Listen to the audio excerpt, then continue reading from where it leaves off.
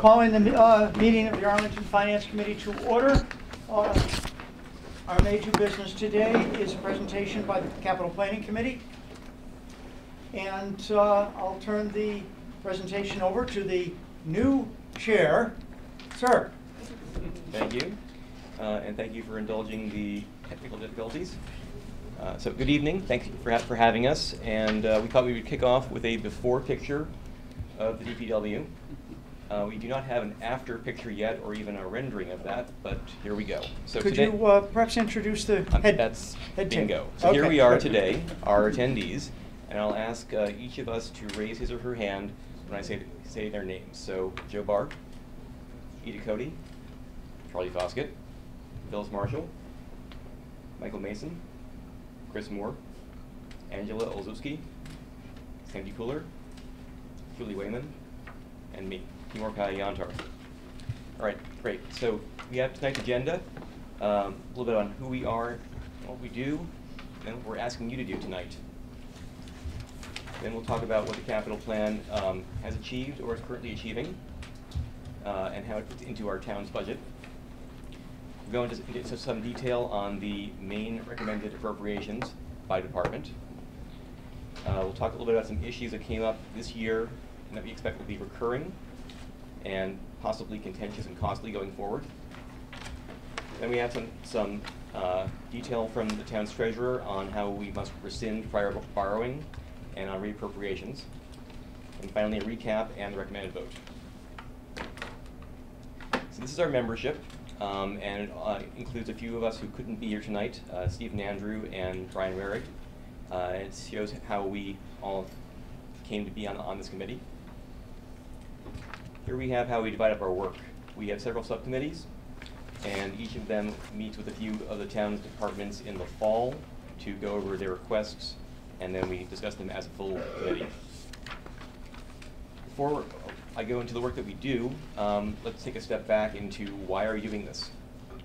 So capital expenditures are for long-lived assets, often costly ones that the town must borrow to pay for. It therefore naturally leads itself to long-term planning. By creating a plan, we reduce uncertainty. We can also weigh priorities, uh, which is necessary in order to keep within our, our budget. And finally, having this dedicated group pay careful attention to these matters should, we hope, reassure, reassure our citizens.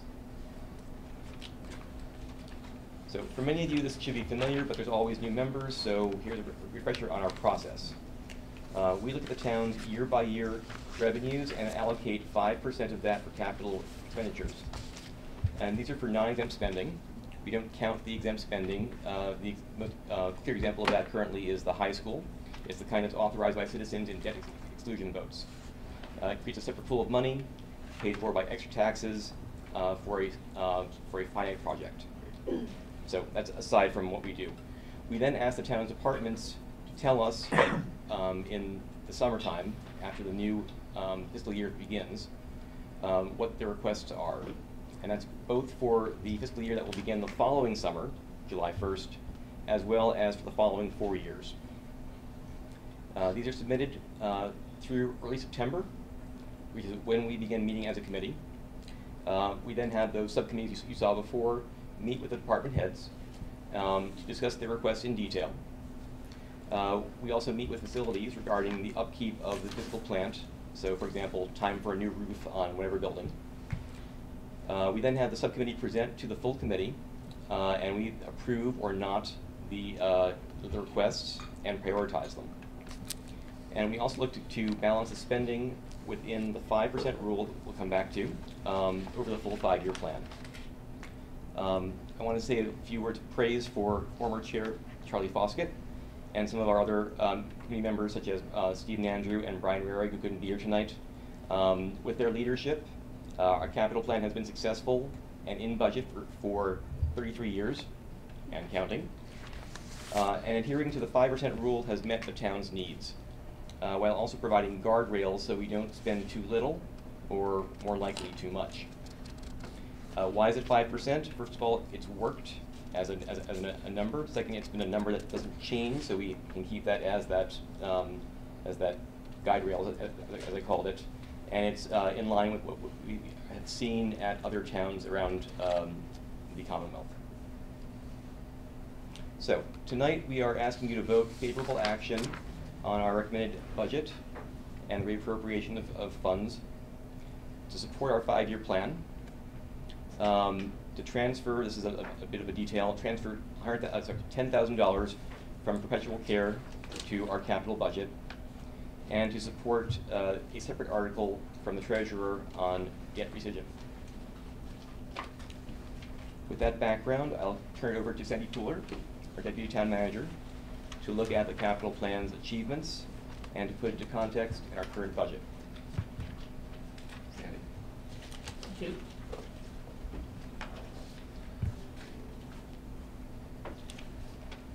So many achievements, they're so big, we had to make the print really small.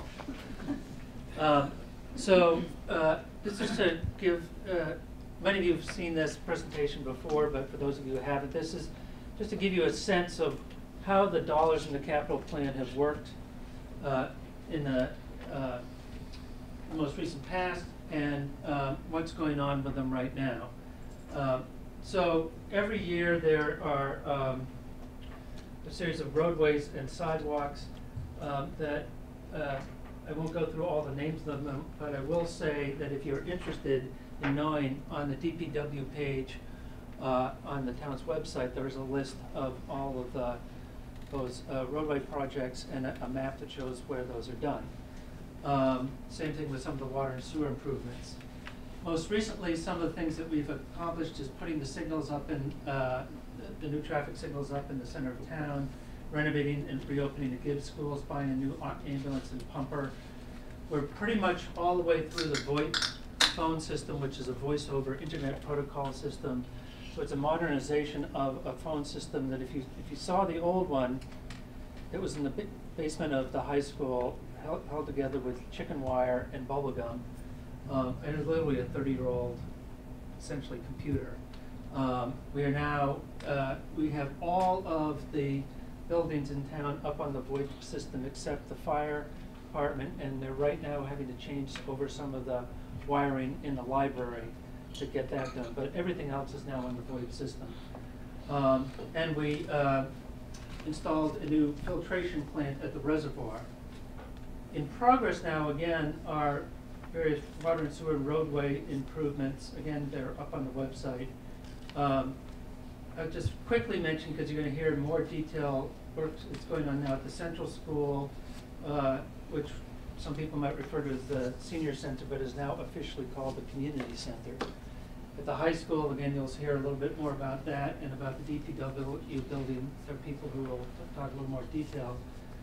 Um, we are about to start renovations at the Parmenter School, which had, the front part of that school, the older part had been rented out for the, um, International School of Boston. Uh, Those tenants have left.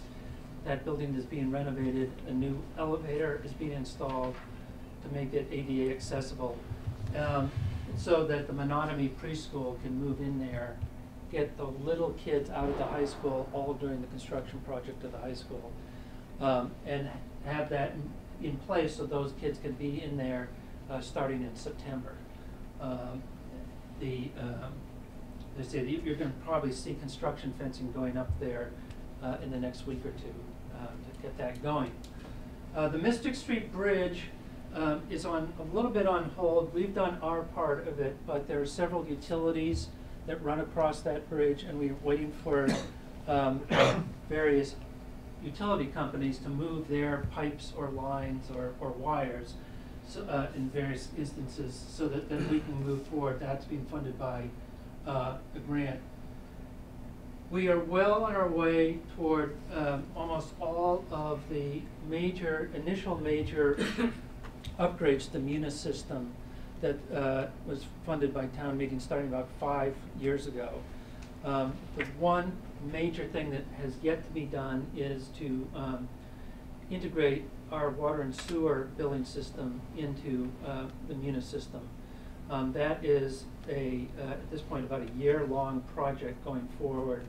Um, We've started to do a lot of the initial work, but it's a, it's a huge amount of data conversion from another thirty-year-old computer um, I think it was, um, I forget how old it is, but it's one of those things that if it breaks, you'll never get it running again.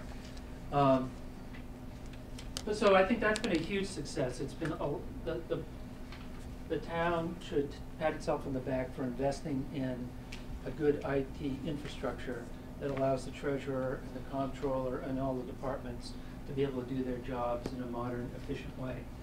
Um, the police radio system is, um, it's, uh, being installed. It, uh, that should be up in, uh, parts of it running in, uh, the next month or so.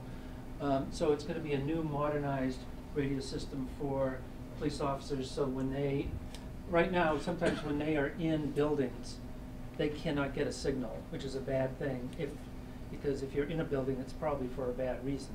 And so you wanna make sure that radio signal gets to you.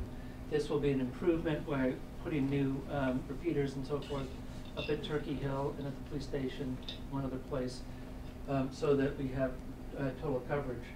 Uh, the Lake Street signals, this is along, uh, the bike path there, um, to uh, modernize that.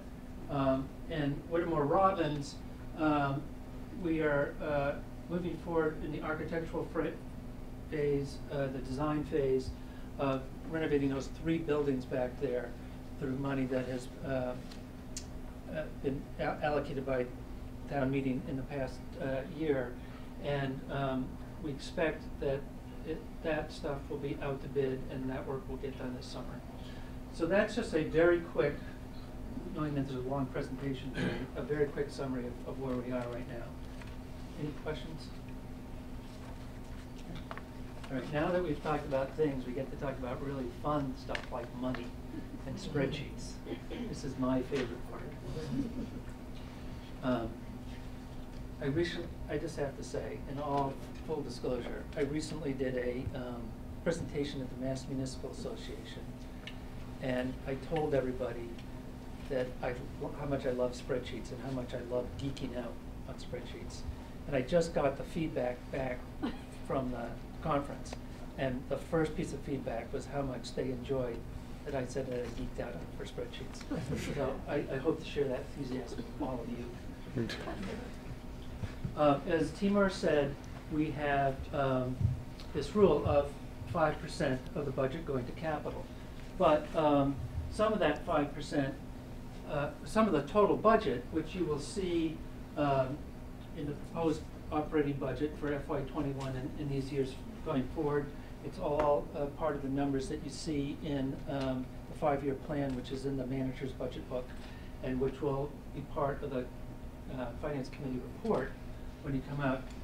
Um, some of that money isn't really money that can be spent on capital, because it is income that comes into the town, but is really reserved for other purposes. So we then, what we do is we take the total town budget and we take out the things that really cannot be spent on capital.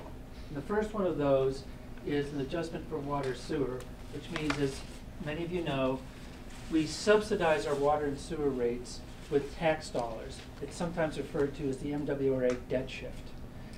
Arlington is maybe the only town still in the state that does this. It was a good idea years ago when it first went into effect because it meant that people could essentially write off some of their water and sewer bills on their tax bills because you can deduct a tax, but you cannot deduct a fee. Now that uh, changes in federal tax law have changed those deduction amounts and set a ten thousand dollar cap on that, that, that's gonna go away. Um, But we still have it in place, and because all of that five point five million dollars is going from tax dollars to subsidize the water and sewer, you can't take five percent of that and put it toward capital. Similarly, when we have exempt debt service, in other words, we've gone to the voters and asked them uh, to raise their taxes for special capital projects, whether it's the Minuteman High School, the, or um, the, the the Arlington High School, or all of the elementary schools that were renovated through uh, debt exclusion overrides over the years. That is, can you be used and only used for that purpose, you can't take five percent of that. And then we take money from um, the enterprise funds and a couple of other sources it's what we call an offset to the town budget. We take what the total town budget is and we charge the uh, enterprise funds a certain percentage of the time that people like me who are paid by the general fund uh, spend to work on things like the enterprise fund work. And so that's a direct payment from the enterprise funds, a, a, a source. And again, that has nothing to do with capital. So you reduce all of that and then you get to this number here, which is the base that we use for the five percent rule. Um, this is, um, I'll just say, this is somewhat, um, dynamic. Um, although during the year, these numbers change as projections change. But at one point, we kind of take a snapshot and say, here we are, capital planning committee, here we are, finance committee, this is the number we're gonna work with, and this is what we're gonna do our five percent off of. Now even more and even smaller numbers. Um, What this is showing is how we come into compliance with that five percent rule. And what we essentially say is, we're spending a lot of money, prior non-exempt debt service, in other words, debt service that is not supported by an override, just regular old debt service paid for by the general fund. Add to that the cash that we're spending in this capital plan, and then an estimate of what new debt service we're gonna issue, uh, non-exempt debt service as bonds, and new debt service that is going to, um, be issued through a ban, a temporary one-year, uh note that we sometimes will issue as a transitional funding source until we send, sell permanent bonds. All of which is to say, all of that adds up to about ten point nine million dollars here. Uh, Pretty much across the board, it's in that range. So that's everything we are spending, but not all of it comes from the general fund. So there are lots of other sources here that we use to deduct from the total to get a subtotal of what the actual amount being spent out of the general fund and what your five percent calculation is, is based on. So, um, I'll just spend a little bit of time talking about this because I know some of you have not heard this before. But again, uh, when we have debt up here for things, it's gonna include regular debt for general fund purposes, but also debt, for example, for fixing up the rink. So the rink is paying for that. Uh, the same thing for buying an ambulance. We have an ambulance, uh, fund, and, um, that gets charged, uh, for an ambulance. Capital carry forwards is the biggest number here, and that, what that is, is, is, is, is really our commitment to recycling.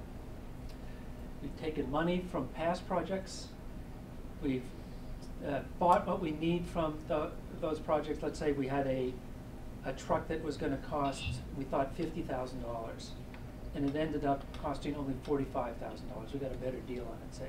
So we had five thousand dollars left over. Those five thousand dollars from lots of trucks and projects and borrowings and so forth all add up to money that was allocated but not spent. So we are essentially recycling it and reusing it as a source for the coming year. Um, we have an antenna fund, uh, we, uh, get income from renting out space for cell phone towers. That, uh, money is to be used primarily for uh, recreation purposes, and this is linked exactly to some recreation debt, uh, and, uh, and projects we have. But the urban renewal fund is the fund, that the ARB controls for, the central school and a couple of other buildings. Um, and for projects that are done in their, on their property, they pay part of the freight for, for doing that. Um, Recreation Enterprise Fund, again, uh, as you know, we have a, a, so just like the rig for recreation capital projects, we hit them up for a certain amount of capital that's coming, uh, specifically debt that, uh, relates to them. Um, and then asset sales proceeds, um, under state law, when we, uh, sell a, um, a piece of town property, we have to put that money in a certain account that it can be used, uh, for other, uh, it can't just be used for anything, it can be used for certain specific uh, capital acquisition, property acquisition purposes. Um, This seven fifty next year, by the way, is for the sale of uh, the DAV building up on Mass Ave, which is under contract. But we haven't sold it yet, so we keep counting on it, but keep having to put that money back a year, a year, a year. I'm hoping that by next year, it will all be done, but that all depends on whether there's gonna be a, a new hotel or whatever's gonna be built there, and the sale's gonna go through. Um, When the override went through in 2011, one of the commitments was to spend five percent of it on, or, well, actually, I think it started a certain number, I forget what the exact number was, somebody may remember for me, uh, on road improvements, and that goes up two and a half percent every year. The same thing for this last override, accessibility improvements, we started at two hundred thousand dollars, that was part of the override campaign, that's going up five percent per year. And then, um, years ago, we sold a bond and got a very large premium on it back in two thousand sixteen, and At least this one's two and a half. Since then, the laws about financing have kind of changed. So we don't do this anymore uh, in this way, but we're basically using the last bit of that premium as a source, and then that's gonna go away. Um, Oh, and um, this last line is for the capital projects that we're doing for town-owned properties like the Parmenter School, or like the Dallin, or uh, Ryder Street, or uh, Mount Gilboa. We get a lot more rent out of those than we ever spend on upkeep. In fact, the upkeep of some of those buildings has been minimal, to say the least, over the years. So what the capital planning committee did say is, they're going to um, attribute some of the rent that comes in from those sources to the capital plan as a source um, to, uh, to kind of even out the bargain for the rent you know we're getting from those buildings and really needing from time to time to uh, invest in them at, at least minimally. Oh, so all those things that deducts from the major expense. You get to then $8.2 million um, of what we're really spending, 5% of that uh, 166 from the previous slide is $8,301 so as things stand right now, we have a surplus in FY twenty-one of thirty-two thousand dollars. In other words, we could add $32,000 more dollars in, into the capital plan this year if we found something that was that. Um, Generally, what the committee tries to do is hit that five percent over the five years and make sure we're at or under that five percent the first year, and then the other years, it kind of goes up and down. We try to smooth it out as much as possible. But the key numbers are making sure we're at five percent here and five percent here. Any questions? All right. You've got them enthralled. Well, at least they're all still awake. I think that's a good sign. Are you sure? Yeah. Um, So, on this slide, we just wanted to, um, note the coordination we have with community preservation and just highlight the RES project, um, where we'll be funding from the capital plan five hundred and um, three fifty, sorry, three fifty, and CPA, um, will be funded, is planning to fund three, five hundred and eighty-seven. And so the new cost estimates coming in for phase two.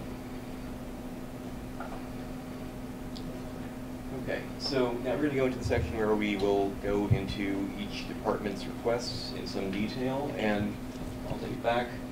And since they are our hosts tonight, we'll start with police. Um, and I'll just note that, as Sandy had mentioned before, um, we have a couple of things on here that actually are not new appropriations for fiscal twenty-one, um, but they are big dollars and works in pro, in, in progress, so we wanted to recap them. Uh, those would be the first and the third items on, on this list here. So the first one is the replacement of the police and fire radio system and the dispatch center located here in, on the first floor.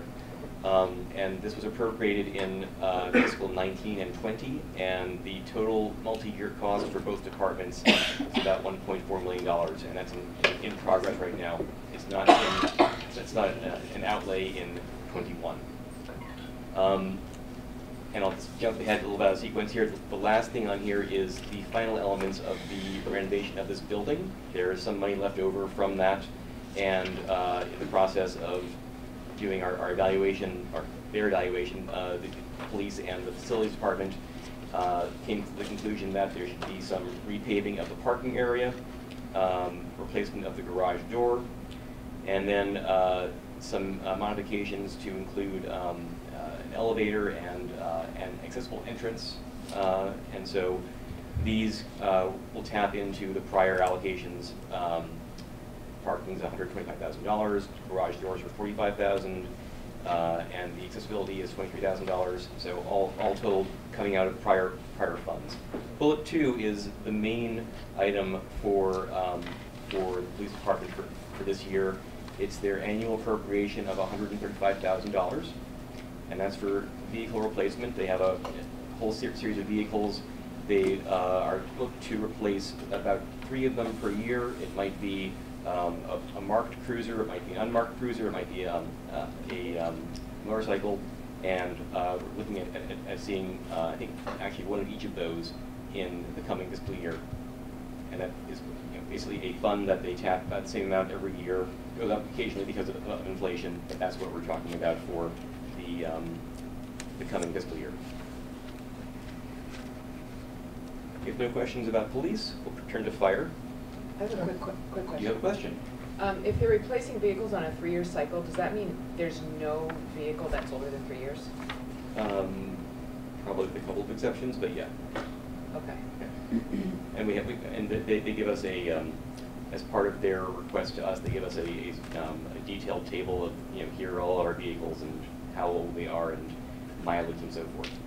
So is that common for police departments in the state, in the country? Is that typical? Um, I can't speak to that from my own personal knowledge.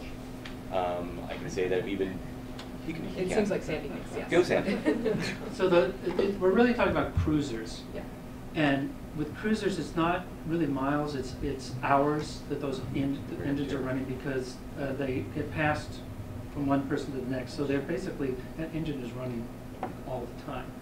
So it's the, the number of hours that, that really take wear and tear on it. And after a while, it is very common to have a cycle like this. Um, I mean, I, I have to say, Arlington, I've, you've heard me say this before, Arlington, a long time ago, did a great job of saying five percent of the budget's gonna go to capital, so that it can, on a regular basis, do things like replace these cars. I have seen other places where they've had to go four years or something like that. That starts to, A, cause problems with the cars, and B, starts to create morale problems, because as things break down, you start to see, hear that back from the officers. So I think uh, this three-year cycle has been, has worked well for the department. When the, uh, when the cruiser's just sitting there, the engine's going all the Yeah, time to that. keep the computers going and everything else. So, uh, like Sandy says, the mileage on the engine is much more than the mileage on the car. John? Um, Is there, are there available at all electric vehicles that could be police cars, you know? Because, for example, what Alan was just talking about, sitting there running the engine. Yeah. Is enormously inefficient. You know, if you had a battery in the car, you charge the battery, you get ninety percent of the energy out of it for use. Mhm. If it's a gasoline engine, you're maybe getting five, six percent out of it. It's enormous waste, especially if it's idling all the time. Right. And I'm wondering if uh, you might think about uh, replacing those with electric vehicles. What I have, what I have seen from them is two things, that uh, looking at, at hybrids, not pure electric vehicles for the main uh, vehicles, and also looking at, um, for things like parking enforcement vehicles, looking at, at purely electric vehicles for those. I mean, you know, all the buildings are going in that direction. Yeah. All the new buildings are, there's no energy hookup at all, uh, no fossil energy hookup at all. Everything's electric. So it seems to me you ought to begin to think about uh, automobiles, I which mean- are terribly inefficient. Yes, Okay, other questions? yes. John? When the town retires an asset, like sells a police car, does the money go to the capital budget or does it go to general funds? Uh, I think they trade vehicles where they can. Oh, they trade. Phyllis, could you speak up just a bit, please? Yes. I think they trade vehicles where they can. Uh, That's the case for DPW, that's the case for most departments that have vehicles to try and get a trade. That makes sense. Other questions? Onward. Onward. So, fire department. Um, here, the big ticket item in fiscal twenty-one is a new ambulance, which is at a little over three hundred thousand dollars. Um, this is funded uh, entirely from our ambulance revolving fund. It comes from revenues from, for ambulance um, dispatches. In addition, in fiscal twenty-one, we have a, uh, an annual appropriation of twenty-five thousand dollars for firefighter protective gear. Um, this is on a, uh, a multi-year cycle as well, I believe it's a ten-year cycle. Um, and so we're replacing roughly, uh, eight, uh, units of this per year for, for the firefighters.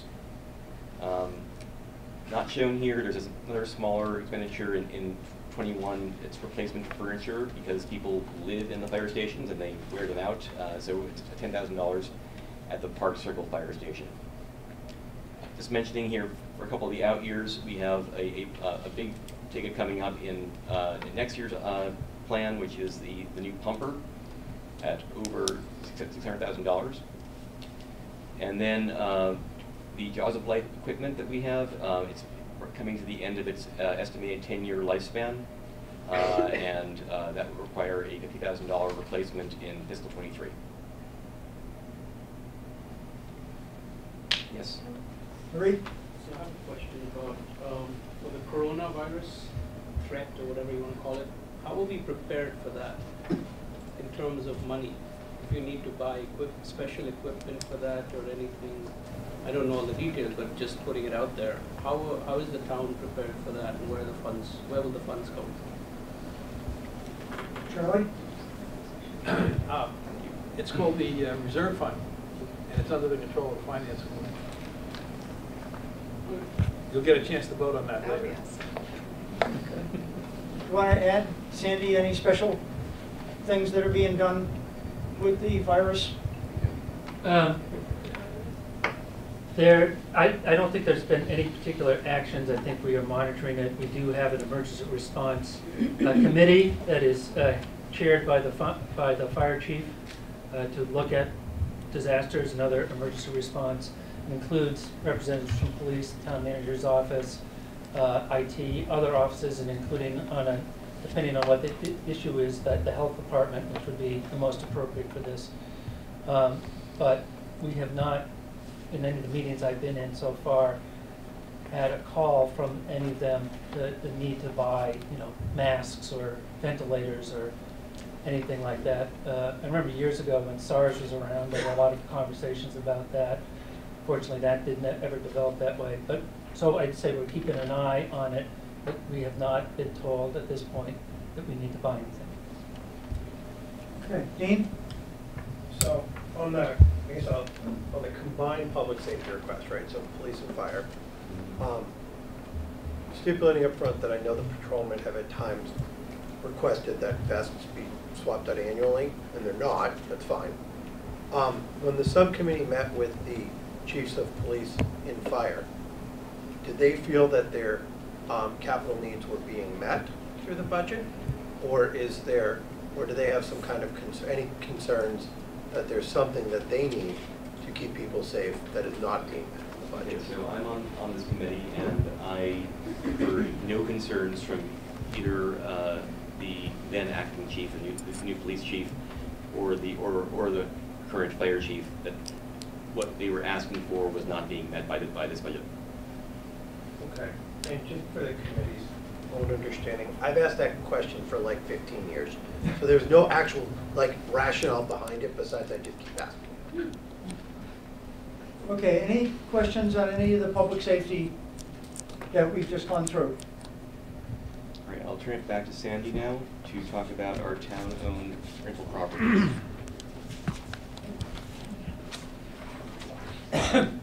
Um, I'm going to talk about this, but I first want to give all the credit for this to Julie, who did the work to put all this information together, and then I just get to stand up here. But it's only fair to say that she really did the work. So uh, I want to, uh, so there are two classes of buildings that we, um, we own. One are the buildings that are under the Urban Renewal Fund. Um, are three buildings, the Central School, um, they, that are leased out, the, um, the upper stories are leased out to various tenants, including um, Arlington Center for the Arts, the Mystic Watershed Association, um, is that what it's called? Yeah. Um, The uh, weatherization program, uh, the um, retirement office and so forth. Um, Then um, there's 23 Maple Street, which is the residential house right next door. Um, It is currently, uh, currently houses a residential treatment facility for, uh, for youth. Um, Their lease expires a- at the end of this fiscal year, June 30th, and uh, it is not going to be renewed. We are uh, investigating now what other uses might be um, made of that building, including perhaps um, putting certain municipal departments, maybe including IT in there, because IT has to move out of um, the high school, because they're tearing down the building that, in which they live. Um, And the new space at the DPW isn't going to be ready yet. Um, So one of the things we might think about is maybe putting them in there for a year or two. Um, So that's under um, investigation. And then Jefferson uh, uh, Cutter House, uh, which is um, down at the center of town. Um, they, over the years, the Urban Renewal Fund um, collected a lot more rent, uh, particularly out of um, the central school than it does now. Um, and so we are kind of always watching what the balance is. They have about $200,000 left in their fund. Um, that is of June, as of June 30th or July 1st, 2019 think that was when we did. Um, and we're taking, I think, forty thousand out of it in this capital plan. So one of these days, we're gonna, there's gonna be sort of a day of reckoning as to how sustainable that fund is. But for the time being, there's enough that we can keep going, o- at least over the span of this capital plan.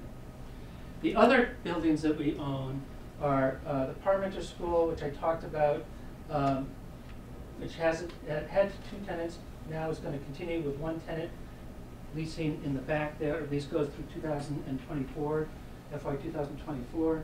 Um, The Dallin Library, uh, which is where ACMI has its studios, um, they, we- we do not have a lease with them, but they are continuing to pay rent uh, under the ter- the terms of the prior lease, so terms just going to continue in place.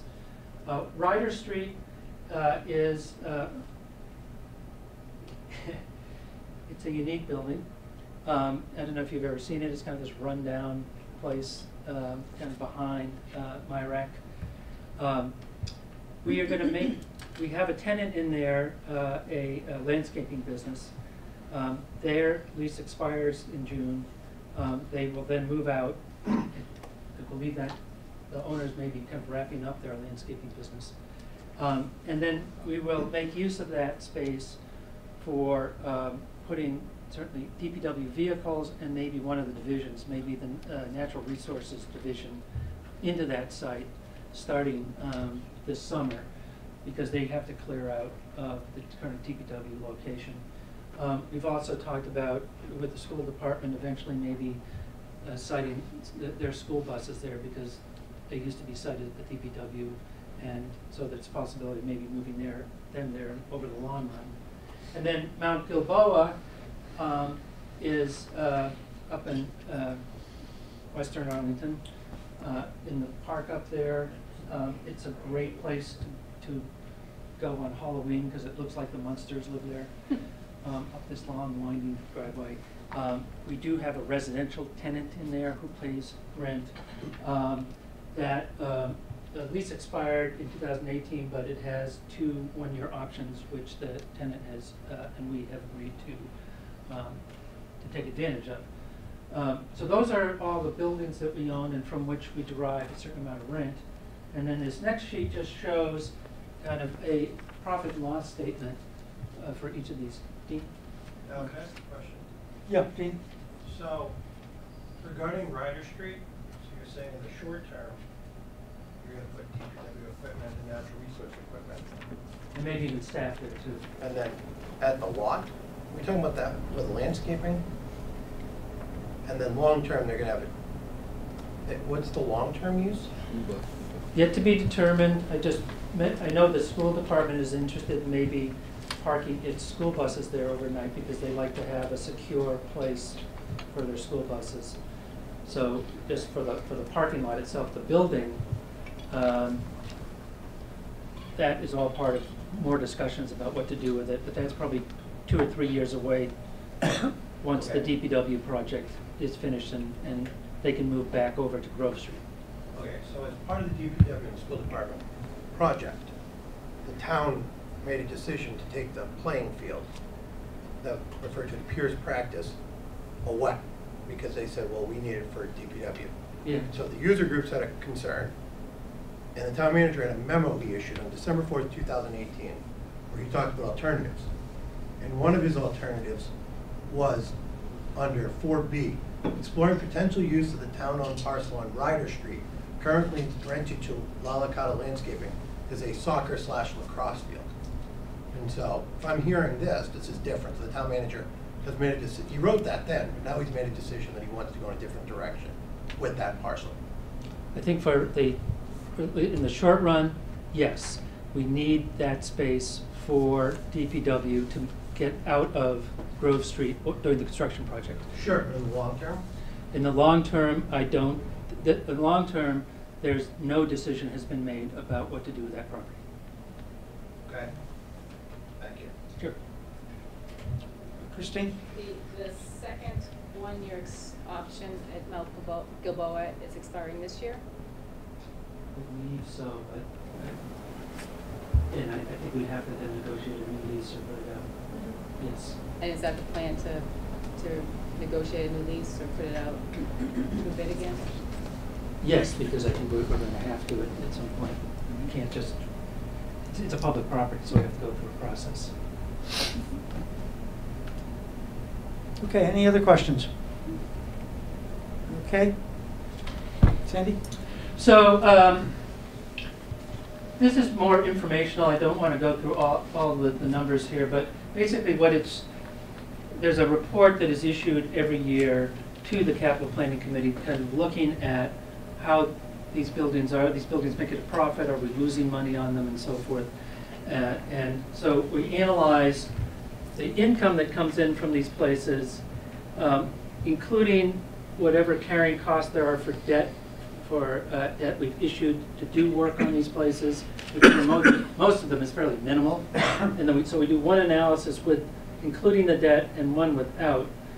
And overall, what you see is that we make substantial profits uh, in the, including the debt. Uh, in FY19, we were running a profit about $361,000. Without the debt, it was about $405,000. On, that's the cumulative for all of these. The, the notable exception is um, the Urban Renewal Fund, where um, for the last few years, we've basically been drawing down the balance in that Urban Renewal Fund because um, we're spending more money on uh, that than, uh, or the Urban Renewal Fund is spending more of its own funds on investing in capital than it's taking in, in, in rent. Um, so that's why I think in the long run, it's something that we're gonna have to come to grips with. Okay, any question, John? Uh, Are we maintaining these properties appropriately, maybe with the excep- possible exception of the Ryder Street property that you talked about, which is kind of raggedy, but the other places? Um, so Mount Gilboa, we just had to replace the roof because really nothing had been done there for years. And the tenant was complaining about water getting in there. That, I think was the first time, in a long, long time that we've done much. That building at some point probably is gonna need repainting and things like that. Um, uh, we've kept up with, I think fairly well. There's been a line in the operating budget for years, uh, to, to do repairs there. Um, That money has now been moved into the facilities department, facilities, so it's all part of that budget. And we're doing a major renovate, well, the, the, um, the elevator is a major expense. It's not gonna do much for the rest of the building. There are still things that we're gonna, we're looking at in the future years with that, with the heating system and so forth. It's probably gonna need more work. Uh, and then Dallin, I know from time to time, we have put money in there to make repairs to the heating system, to fix, uh, the accessible walk entrance where there, there was some issues of water getting in from the parking lot and so forth. In general, I think the building is, is running along, fair- it's an old library, it's a pretty sturdy building. Okay, any other questions? Right. Charlie, over to you. Thank you, Timur. So uh, what you see up there is a picture of the uh, original central school.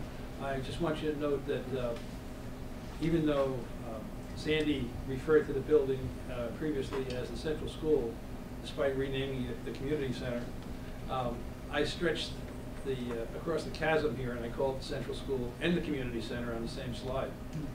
Um, But this uh, building was uh, originally built in uh, 1894. It served a number of purposes for the town over the years. You can see that um, uh, outlined in that slide. Um, And uh, over the last couple of years, town meeting has allocated through a series of appropriations approximately eight and a quarter million dollars for the uh, renovation of the bottom two floors of the, the building. Uh, The upper floor where the Arlington Center for the Arts is located was renovated at their expense about three years ago, I think.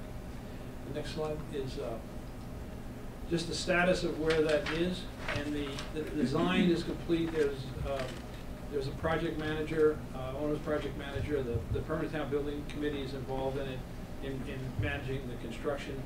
Uh, It is behind schedule. It was supposed to more or less start in January. It's now uh, planned to begin in March. And um, they have created a cash flow plan, which has been communicated to the treasurer to uh, organize the bonding and the financing. And uh, very importantly, um, the um, planning department has come up with a logistics plan to continue to provide services to the various users of the building, uh, even though they'll, um, you know, tho- those spaces will not be available.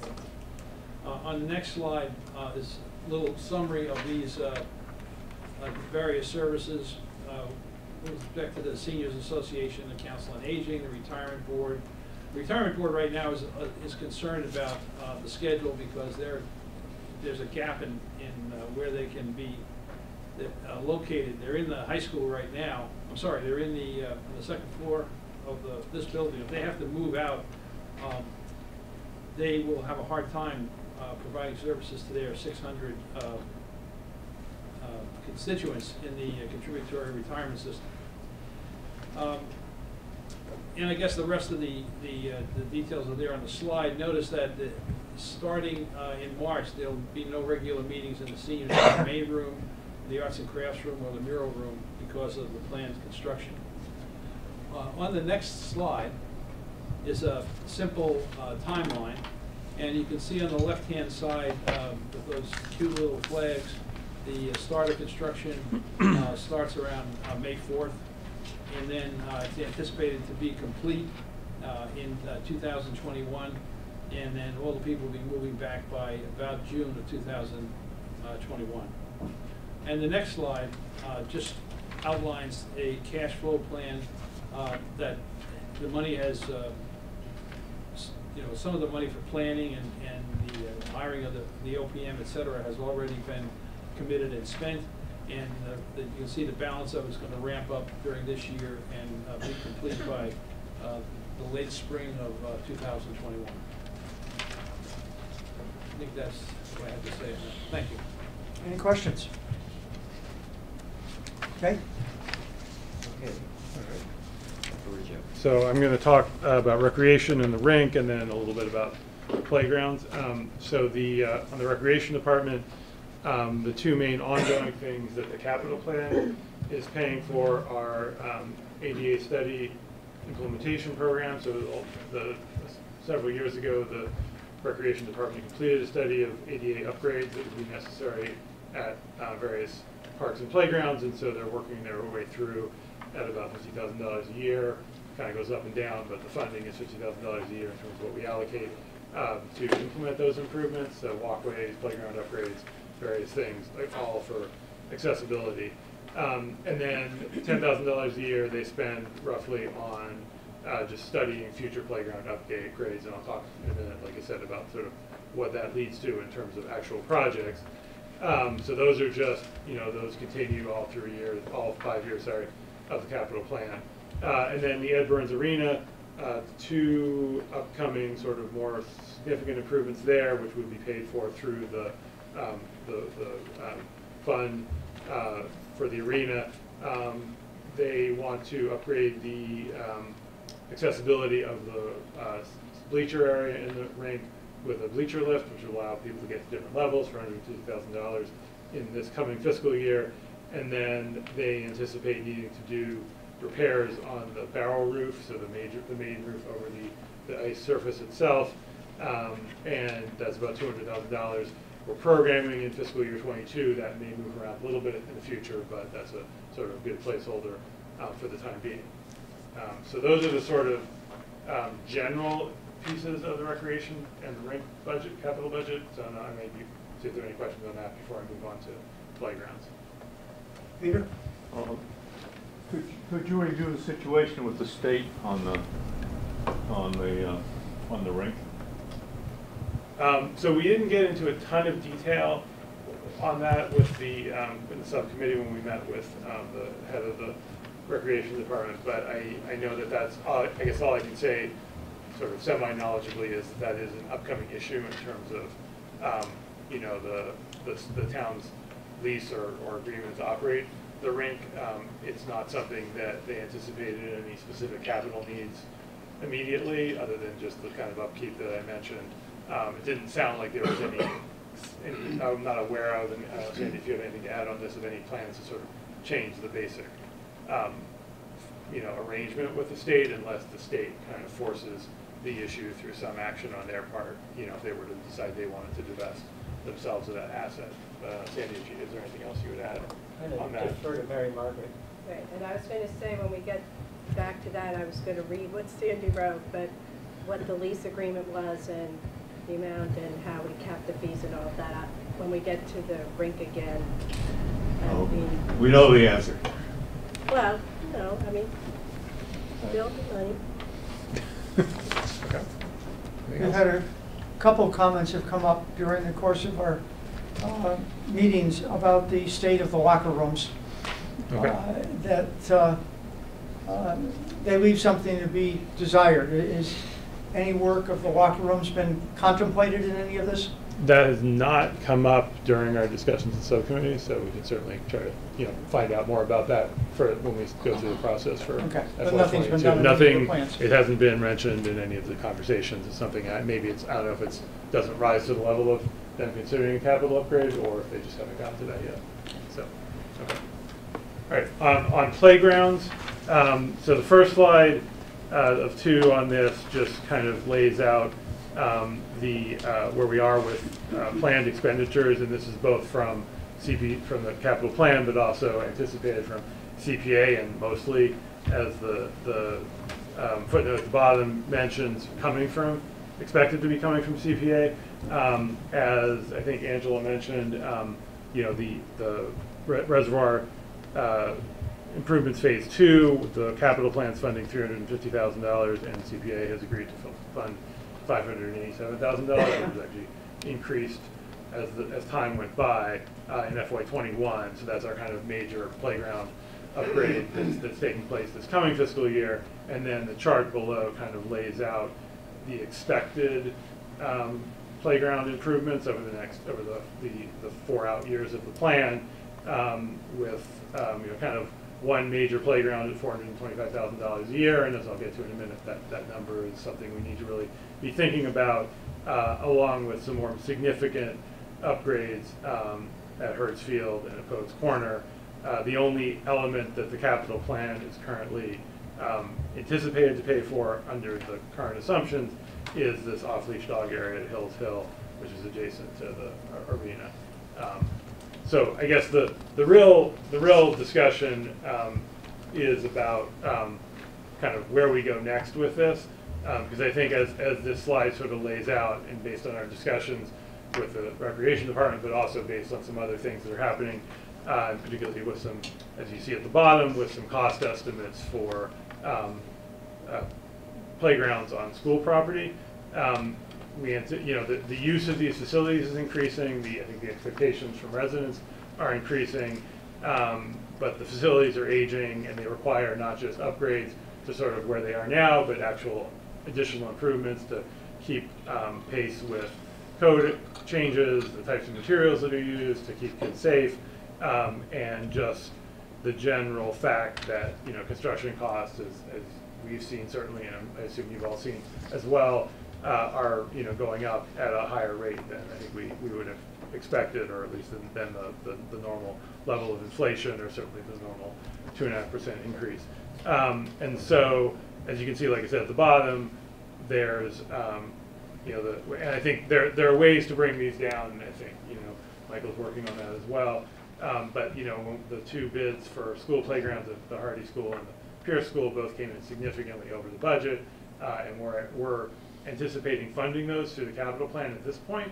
But if you think about that, those numbers in the context of the previous slide, and like I said, the four hundred and twenty-five thousand dollars we've been carrying as a kind of baseline cost estimate, um, they certainly don't jive with each other. And so I think there's a, uh, a larger discussion, um, that, you know, the capital planning committee needs to have, and, and perhaps this group and others need to have about how do we actually meet resident expectations? How do we continue to upgrade our playgrounds? Or potentially, can we, can we continue to do one playground a year, which has been the sort of what's been happening recently? Or does that schedule need to be extended out? But then we may get into a situation where we're not able to actually keep up with the state of good repair because by the time we get to the, a playground, it's gonna be falling apart at a, at a longer time frame. So I don't obviously have the answer to that question, but I think we felt as a committee that it was important to highlight that um, to, to others to sort of say this is a, this is a discussion that's coming, and like I said, I think our resident expectations are,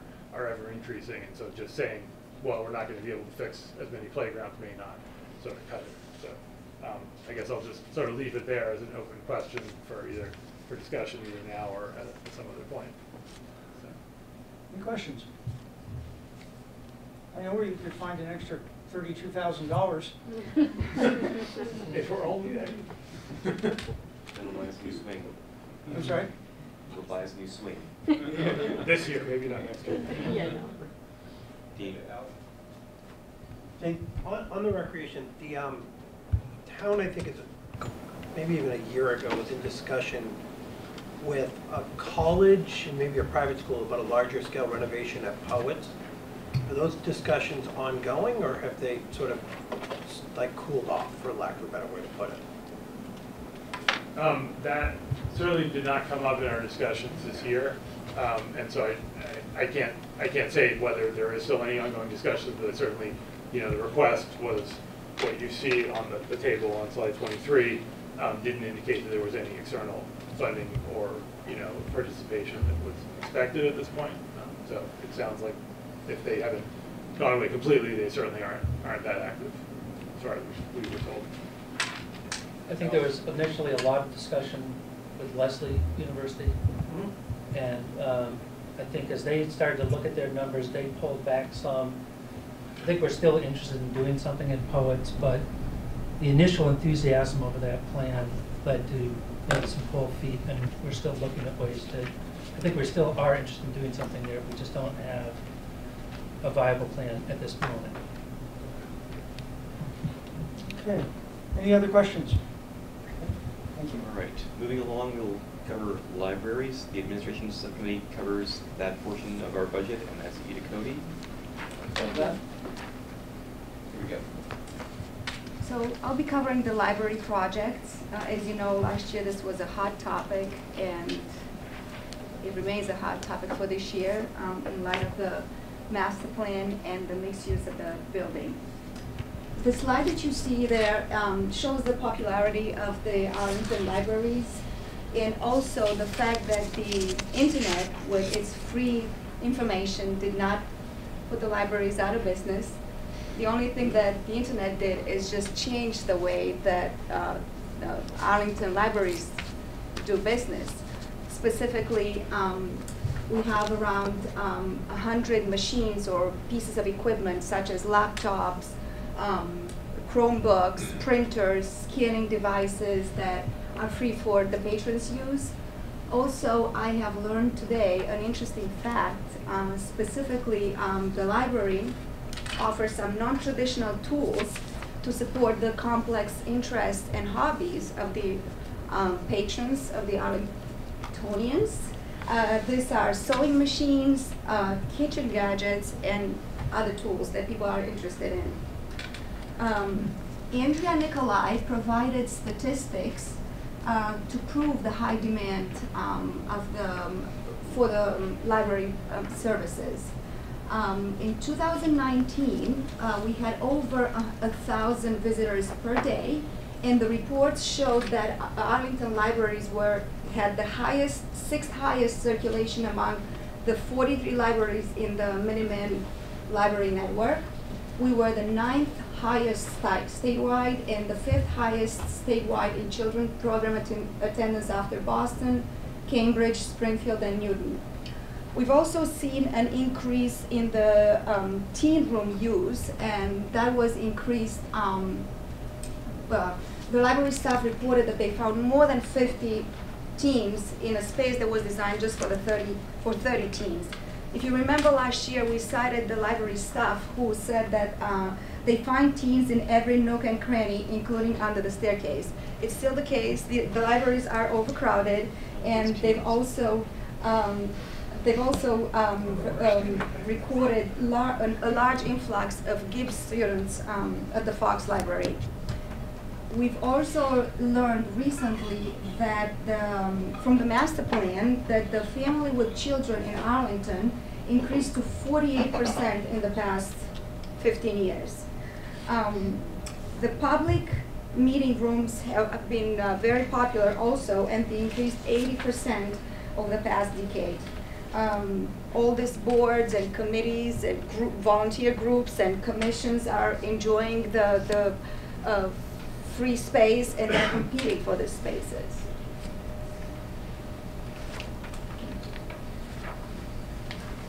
This is a wordy slide, but I'm just gonna highlight the main points. The library is only requesting $52,000 to buy equipment for the, um, for the library to be in compliance with the MLN um, technology standards. This includes laptops, printers, software packages, uh, security and antivirus software. Um, as you know, uh, our libraries are part of the Minuteman Li uh, uh, Library Network, which includes 43 um, members, 43 communities. And the main benefits of being a member are the access to the ML and Riches collection. We also derive value from having access to a wider world of resources and the reports and statistics um, that the network provides custom reports to evaluate the library services. And the last slides um, provide an update of the large um, building constructions. The first one is the Robbins Library, which this is gonna, this year, uh, we plan on renovating it and putting an addition. We have updated costs. The new cost of the Robbins is $13.15 million. The design was pushed to fiscal year 23, and the cost, the new cost is $1.15 million. And the new construction cost is scheduled for fiscal 25, and it is anticipated to be $12 million. This includes the OPM of 500, the fit out 1.5, and an estimated 100,000 the cost of moving.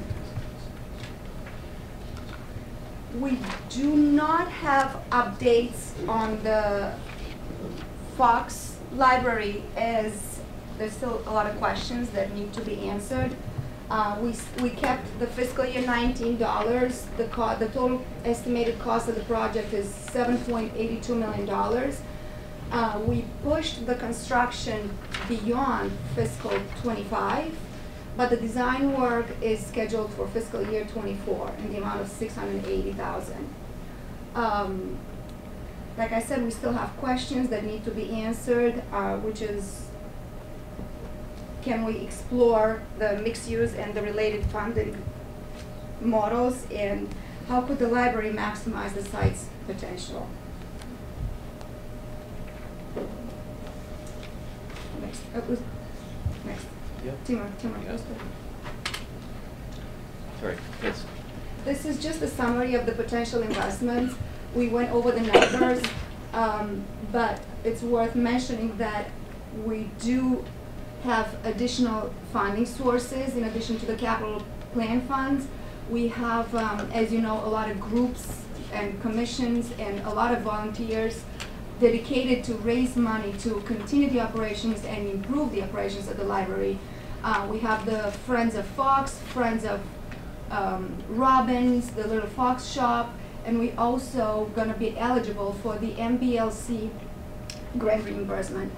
We have two libraries to build, but only one is gonna be eligible for the grant. Although these two projects are major and it seems like we'll be spending a lot of money, we also have to keep in mind that it's really not excessive compared to other municipalities. Um, we looked at Medford, who spent uh, $34 million in Medford Public Libraries, and they had a reimbursement of $34,000 from MBLC.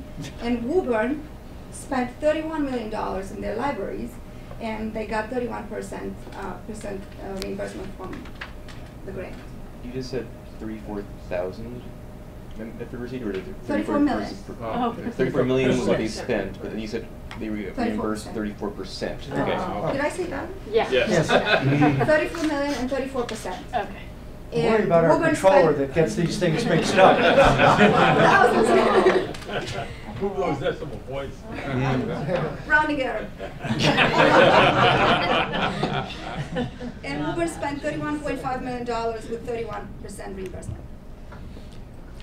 We're not going to use the phrase close enough for government work in this presentation, no. All right. So when do you anticipate that you'd actually be putting a bond authorization in front of us? Fiscal, you know, two years from now? On Fox? Well, on the Robbins, the first big one. I So it looks like I don't two think years until from now? Twenty-five, right? No, So I, Design is twenty, yeah, twenty-three. The design is scheduled wasn't for the, wasn't the notion that we would, we- we, we would ban that and then bond the full amount come twenty-five? Yes. So- I think we Yeah. moved it out because we're not, we don't have enough detail yet. Okay. Now, I just wondered when, uh, this committee and town meeting will be actually looking at a bond authorization for this project. Will it be next year, will it be the year after? I think at this point, we don't have an answer for you. It, it, it could be next year, but we have more work to do. Now, Any other questions? Christine? During the construction, will there, will we need to move books out of either or both of these libraries? And if so, where are we putting them? During the construction, library, uh, Robbins will stay open, and there will be minimal time when, downtime, when the, op- the library will not be open for the visitors, for the residents. Fox Library, we don't have any plans. We don't know, we don't have concrete plans in place. Do you know whether you'll need to, to move books out of either of those buildings during construction? We were also, um, we were thinking about the possibility of getting some modulars to move some of the equipment and books into the modulars. But again, like I said, we don't have concrete plans in place. We've allocated roughly hundred thousand dollars for the change, for the temporary change. Okay. Arif? So I have, a I have a question, and I'm just gonna put it out there, I'm not sure there's an answer to it, so just something for, for my, my thinking, kind of back in the committee and thinking about this. How- Is there a framework to think about return on this investment? I mean, one of the things, the slide you started with was, you know, the amount of people attending, coming to the library, the usage numbers, et cetera. So being sort of a, a, a numbers geek as well, I'm just starting to think, how do you guys think about it? Is there a framework around that? And, and you mentioned some other towns and the number of, the amount of capital they've spent and so forth. So have they calculated, is there a benchmark?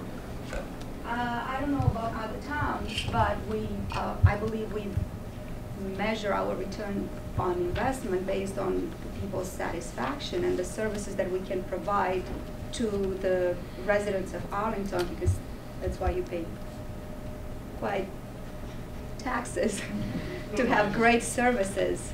So I guess we measure it in terms of services and, and satisfaction. No, it's hard to measure it in dollars. Alan? Well, this is more of a, a comment about the usage of the library that isn't really uh, spelled out here. And I just learned about recently, speaking with some people who live in Cusack Towers. In the summer, it gets really hot, and there's really no air conditioning, so they use the library as a cooling center. Apparently, a lot of people in town without air conditioning flock to the library for cooling. So, so I'm hoping during the renovations, there's, there, there's space for people to just hang out during the hot days as they get increasingly hot. And maybe the new community center will also, uh, the plans I've seen for the community center also may have more casual gathering places, you know, comfortable with, you know, sofas and tables and things that could also be used for cooling centers. But I think that, that, to some people, it's a very important role, which isn't really mentioned. so. I guess this will be addressed, will all be addressed in the feasibility study. Yeah. So I'm just hoping that, that function is considered, because I know it's important to be, it's not just reading books, it's just a comfortable place if you're living in a place that has no air conditioning. Okay, any other questions or comments? I bet Sandy didn't tell you when he was interviewing for this job that part of it is talk, talking about libraries. Okay, next. All right, passing it over to Chris to talk about the DPW. So uh, we approved the DPW in town meeting in 2019, so we're not uh, adding anything to that, but this is just an update on where the project stands. Um, We hired a construction manager at risk in January, um, and so things should be going out to bid later this year. Uh, Right now, we're still kind of in the early stages of figuring out, you know, what's the, what's the cash flow gonna look like and all that, so that we don't have that kind of detail for you yet about this project. Uh, go to the next slide, we do have uh, what we presented at town meeting and, and before this committee last time around about how we expect that it'll be financed. Uh, it's about thirty-two point two million in total, uh, split between the capital plan and the water sewer fund. Uh, the exact split will probably vary a little bit as they, they uh, finalize the plans and figure out, you know, how much of this building is really being used by the water sewer function. Uh, that's the, the reason that it, the funding is split up this way. Um, The capital plan component is scheduled as a thirty-year bond and uh, should the, and and at least planned at this point that it would be level payment, um, which means that that bond's gonna be sticking around with us costing the same amount for thirty years. Um, And that, that particular choice to put this in the capital plan and fund it this way means that, uh, it, you know, it, it adds to our, uh, it reduces our flexibility in the future, and that's something that, you know, we're already starting to see, uh, the kinds of impact that has on us as we try to fit in other major projects. Um, yeah, go ahead. Uh, another thing that we wanted to talk about with respect to Public Works, or uh, Department of Public Works, is roads. Um, this is a map uh, from the 2019 Road Quality Survey. Um, essentially, the blue and the green roads are in, in very good condition. Yellow is kind of what they call fair, and that's about the average for the town. Uh, and then the yellow and orange roads are the roads that are in, in uh, rough shape. And if you're trying to find your, your your house on here, just note that east is up on this Yeah. map, so it's a little confusing. A little bit awkward, yeah. I tried rotating it the other way, that caused me other problems. Anyway, um, so that survey is used, it, it surveys all of the roads in town and it's used to prioritize how the maintenance, uh, is done. Go to the next slide. Uh, there are about 96 and a half miles of roads that the town is in charge of maintaining. Um, the average condition is a 79, uh, on the scale that these folks use, which they call fair. Um, but one of the things that's awkward is we've been spending, roughly speaking, uh, about a million and a half dollars a year on road maintenance. Um, they anticipate, uh, with their model, which includes you know, the rate at which roads are decaying as well as co- increase in costs, that if we continue to do that, we will see a steady deterioration in our road quality. Um, and that if we want to maintain uh, the level we're at today, that's going to cost something more like $2 million a year. Um, we are not able, within the 5% limit at this point, with all the other things that, are in the plan, able to reach that level. So the current plan that we're putting before you tonight uh, increases the funding to an average of $1.7 million a little bit short of what is required according to the, the uh, consultants to maintain our current quality. Yeah. Why not just recommend increasing it to two million? Well, then we have to cut something else. so we, we tried to find a way to fit it all in, and uh, that was the choice we came up with. It gets Uh, us closer, and maybe eventually we could get Right. closer. And yeah, that, that's the hope is that over time we can figure out a way to get closer to that too. And of course, that two million will escalate over time as well as, as building costs increase. Okay, any other questions? Okay, Right, now, the schools. Um, So as Sandy mentioned earlier, the high school project is funded by exempt debt, um, which means it's not in, in the capital plan, but it's an important project, so we wanted to include it here. Um, And you probably know there was, there's a specific budget for this because it was in the debt exclusion vote, and the uh, estimates had come in, the design higher than that. So the building committee was able to um, close that gap, and they did it without jeopardizing any of the educational needs.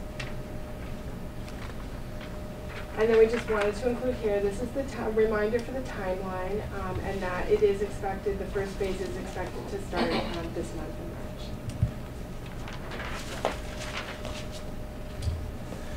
And so, um, for the non-exempt, uh, capital plan items, there was about twenty-four requests, and this, this slide is just going to summarize some of the more notable items that were substantial, the investments for the, s- for the schools.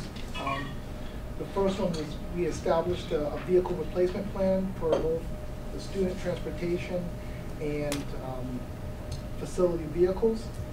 Um, so it'll be a ten-year plan, replacing the oldest vehicles first, um, and on, on a rotating basis.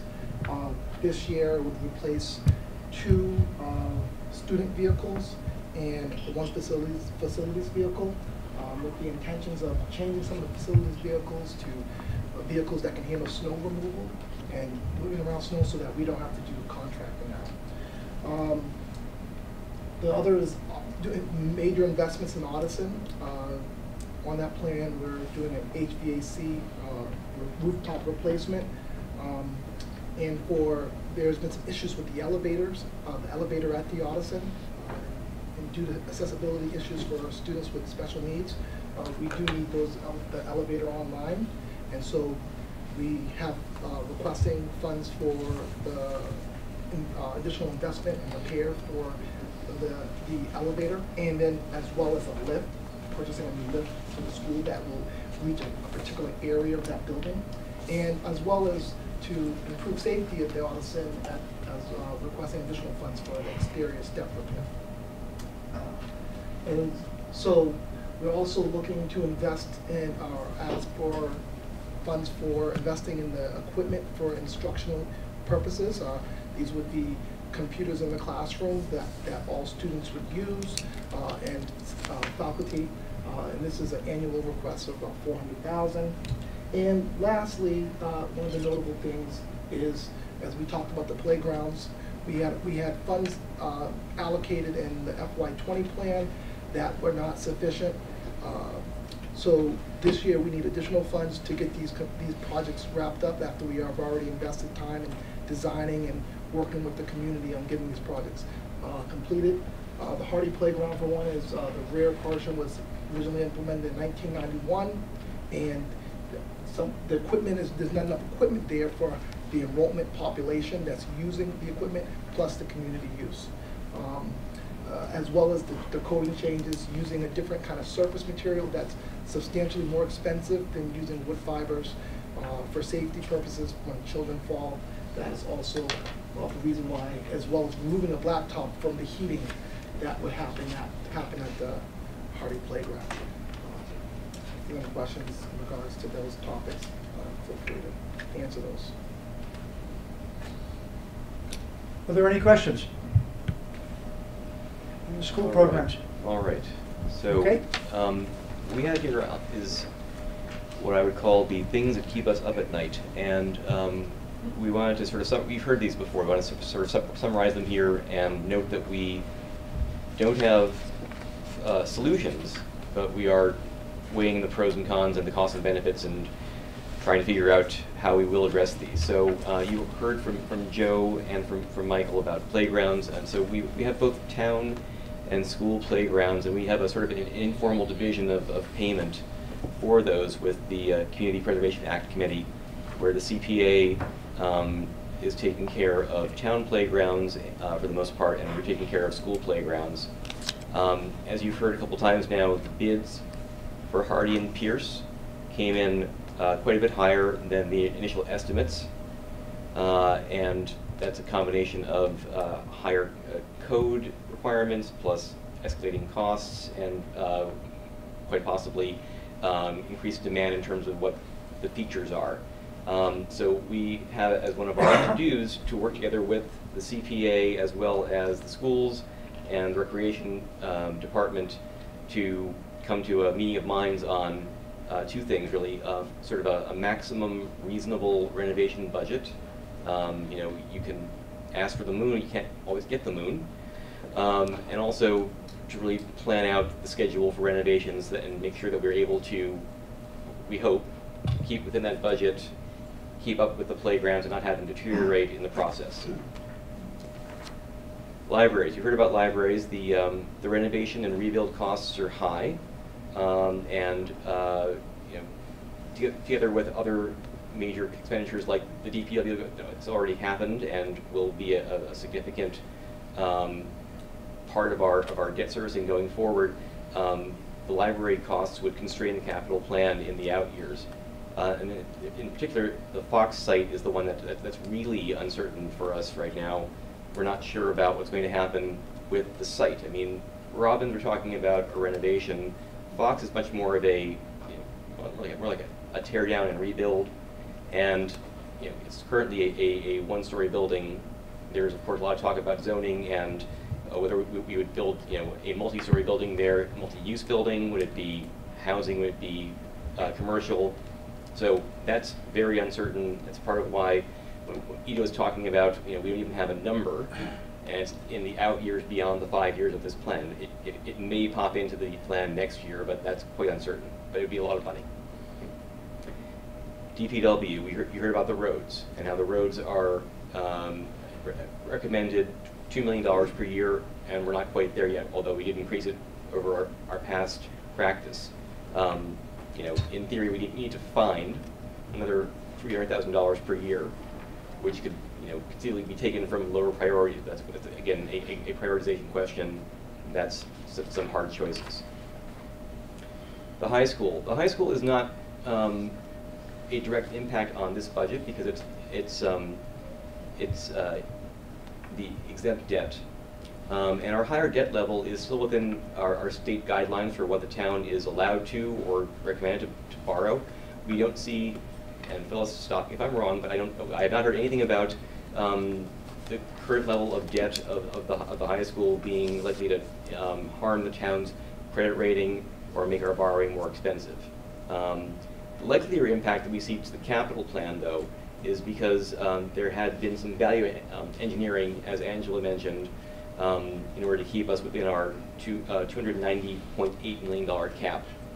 Uh, so, for example, you probably heard that the bike path connector um, was removed.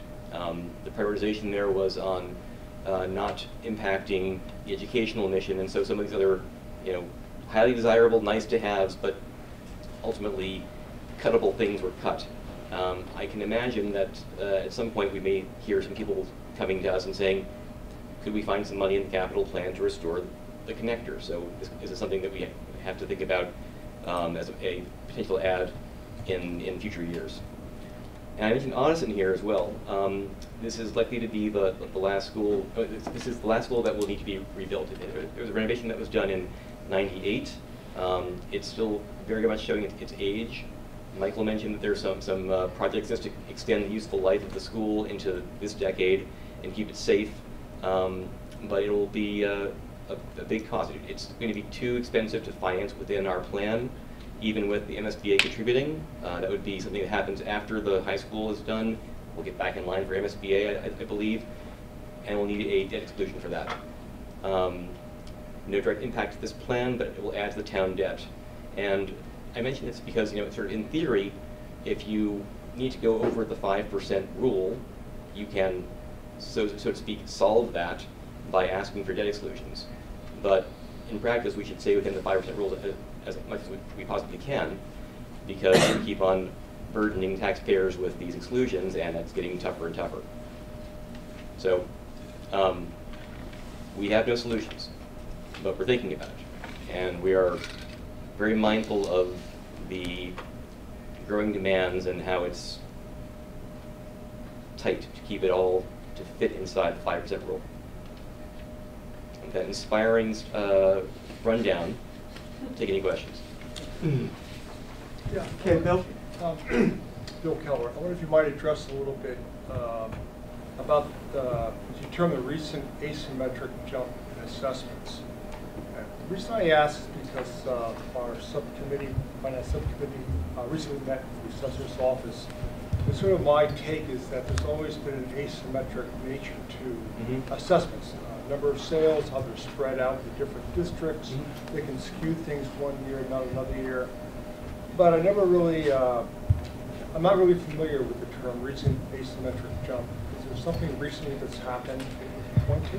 Yeah, well, I mean, I think, I don't know that last year was exceptional, um, but I think there was a lot of perception that it was. A lot of people were talking about, oh, look, you know, um, for example, I, I happen to know that, that Kelwyn Manor was particularly hard hit apparently, and people saw their assessments going up by 20% or more. And, you know, when the, I think the average was something in the five to uh, five to ten percent range, and so people seeing that and, and hearing that their friends across town had a zero percent uh, increase, I understand it, it's driven by you know property transactions, but people still see that and you know wonder if they're being um, hit harder, and, you and it can create friction within different parts parts of the town. That's all I'm talking about. Other questions?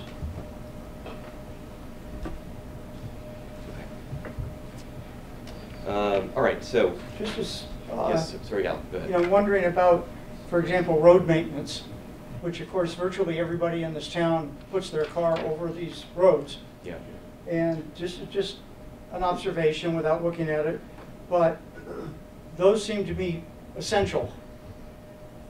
Libraries, especially maybe renovation of the Fox, Mhm. not quite as essential. Mhm. So it's just an initial observation. So, for what it's worth. But that's the reason the library uh, plans have been pushed back from what was originally requested. Yeah, I think the other reality with roadways is that it's an easy, unfortunately, it's an easy thing to sort of right size because if you, you know, you can do one point eight, you can do one point seven, you can do two, in terms of what DPW you can put out, whereas a building, if it costs eight million dollars, it sort of costs eight million dollars, and so it's easier when we're balancing the plan, it's often easy to, easier to adjust things by, well, take a cut on the roadways, and that Instead may of not be the building- right thing to do, but it's, it's a simpler adjustment to make. Instead of building uh, only ninety percent of a- a building, right? Yeah. Yeah. Yeah, it's, e- it's easy to put off, and then you sort of end up with a Belmont situation. Right. Mhm. Don't want to go there. Okay. One thing I was just gonna Shall throw out there, I don't know how we could do this, but, um, in other towns, there are ways to bring in businesses that then pay taxes, that then can be used to do development. Um, any of the places in Arlington, like maybe Poets Corner, that could be used, you know, to put office space. Have, have, have we ever considered, I don't know that's even the finance committee's place, or, you know, just throwing it out there as an idea. Could we do, so I'm, I'm thinking of Burlington, because I'm in the education space, and I know that Burlington amazing high school. And it's because they have them all. So if we could bring in more tax dollars from the corporate space, we would solve some of our problems. I guess, I served on the master plan, I served on the master plan advisory committee and currently serve on the master plan implementation committee. And I, all I'd say is just that that was certainly a big topic of discussion for the, during the development of the master plan several years ago. And um, I think one of the two realities are that um, the town has limited developable space that's, you know, so even if people were willing to consider sort of rezonings that would, ena- would enable that, it's still a very limited per- percentage of the town's uh, space, and there's a lot of competing demands for that. And then um, the, the town does not have a differential tax rate for commercial versus residential. Obviously, there's other reasons why commercial has different tax implications and different expense implications than additional residential, but um, the ability to attract businesses um, that would generate the type of tax revenue was sort of felt to be challenged, and particularly the, there's only really one site, the Mirak site, that's large enough to really do a significant development on uh, at this point without sort of really looking at a sig- really significant change in land use. Mugar site. Well, the, well, the Mugar site was, I guess, is so challenged environmentally that we didn't actually consider that other than the proposal that's been put forward. Um, but like I said, in theory, again, it's an active use, but the, the, and there's a lot of complexities to the ownership of that land, but the, you know, the Mirak site is large enough that if the dealership were to cease to be there or they decided to sell out, that's a large enough site to put, um, you know, significant mixed-use development. Other than that, there aren't really any sort of contiguous sites, uh, and the land assembly process would be extremely complicated for anything else. You, So- you mentioned Poets Corner, and that's interesting, is because that's one of the few sites I, I can think of that is easy to get to. That's another constraint that we have in our town is that, and I do this on my commute, and many of you may, may as well, trying to get in and out of the town from Route Two, uh, is challenging. Um, a couple bottlenecks that we can go in and out of, and that makes attracting, uh, new commercial development, even if we had sites for it, challenging. Okay, Brian? Um, Personally, I think the roads are in abysmal condition. Um, Would this committee? It's fair, says the. I I bet- I- So- My eyes tell me one thing, uh, my ears tell me something different. It's on a curve. Um, Would this committee um, support um, a specific override on an annual basis for three hundred or four hundred thousand dollars a year to get to that number, two million dollars? Because I think that would, people would vote for that in a second. And it's, it's short change. So, we haven't taken a formal vote as a committee. I would certainly raise it at our next meeting. Belmont, which probably has the worst roads in the state, put forth an override for exactly that. I can't remember the exact cost, but to literally rebuild the roads. It failed. We used to do it in Hamilton for one million dollars a year. And it- uh, it passed every single year, there was never an issue, because people knew what it was for and they support, you know, in general, they supported it. Okay, any other questions, Shane? Sorry, one more parochial question as a resident of Lake Street. Um, I think at the beginning you talked about like the, the Lake Street sort of lighting or, or, so there, I think a couple years ago, there was a plan for the bike path and where Yeah, there's there- like. well, one, one of- the items that um, is, was on our, our currently in progress this year from, and coming out of last year's uh, capital plan is to, uh, how should I say, do something about that uh, intersection um, between the bike path and, and Lake Street uh, with a new signal. Yes. Okay, Peter, did you have a question? Yes. Um, I think that your, your committee should think a little bit about using the, uh, boasting about the five percent rule. The actual amount of money being spent on, uh, on, uh, buildings is, is much more than five percent. Uh, because it's uh, exempt. Um, So when you say five percent, some people will say, how can that be? Mhm. And you explained it very carefully what you mean by it, but I don't think the bottom line comes across as honestly as it might. Something to think about. In other words, what are we actually spending? Including the exempt money? Yeah. Interesting. Sometime when you have nothing else to do, you might want to run that calculation just for curiosity. But- Most of the. Okay, any other questions? Yeah. I've been harping on this a little bit, uh, so I'll ask Sandy and Phyllis, that uh, prior exempt debt has sort of, will be coming down over a period of time. And at one point, it might even be this year or next year, it drops a bit more. And so I just want to be reassured that you're going to fill up that drop uh, when you, when you do your bonding, so it's, it's, it's as smooth as possible. We are considering that. I mean, it is, we are watching. Okay. That's, um, We don't want to have spikes. Yeah, we don't want it down and then back up again. Right. Even if you, if you sell a bond and then pay it off, you could fill up that hole. Yes, we're watching the structure. Okay, great. Thank you. Uh, Charlie? Uh, Yes, I think there's an answer to Peter's uh, question about uh, how much is is spent uh, on example. If you go back to the reconciliation of town budget slide that, uh, on page 10, that Sandy addressed, the uh, second line down, or so is the adjustment for exempt debt service. So that's the, that's the amount that's being spent against exempt borrowing on a, on an annual basis. And it's, runs, uh, start, this year it's four million, it's gonna go down to three million in fiscal year two twenty-five, not including the high school.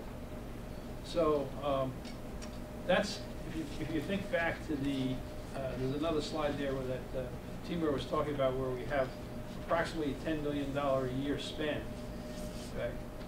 It's about, um, thirty percent, uh, more, that's exempt spending.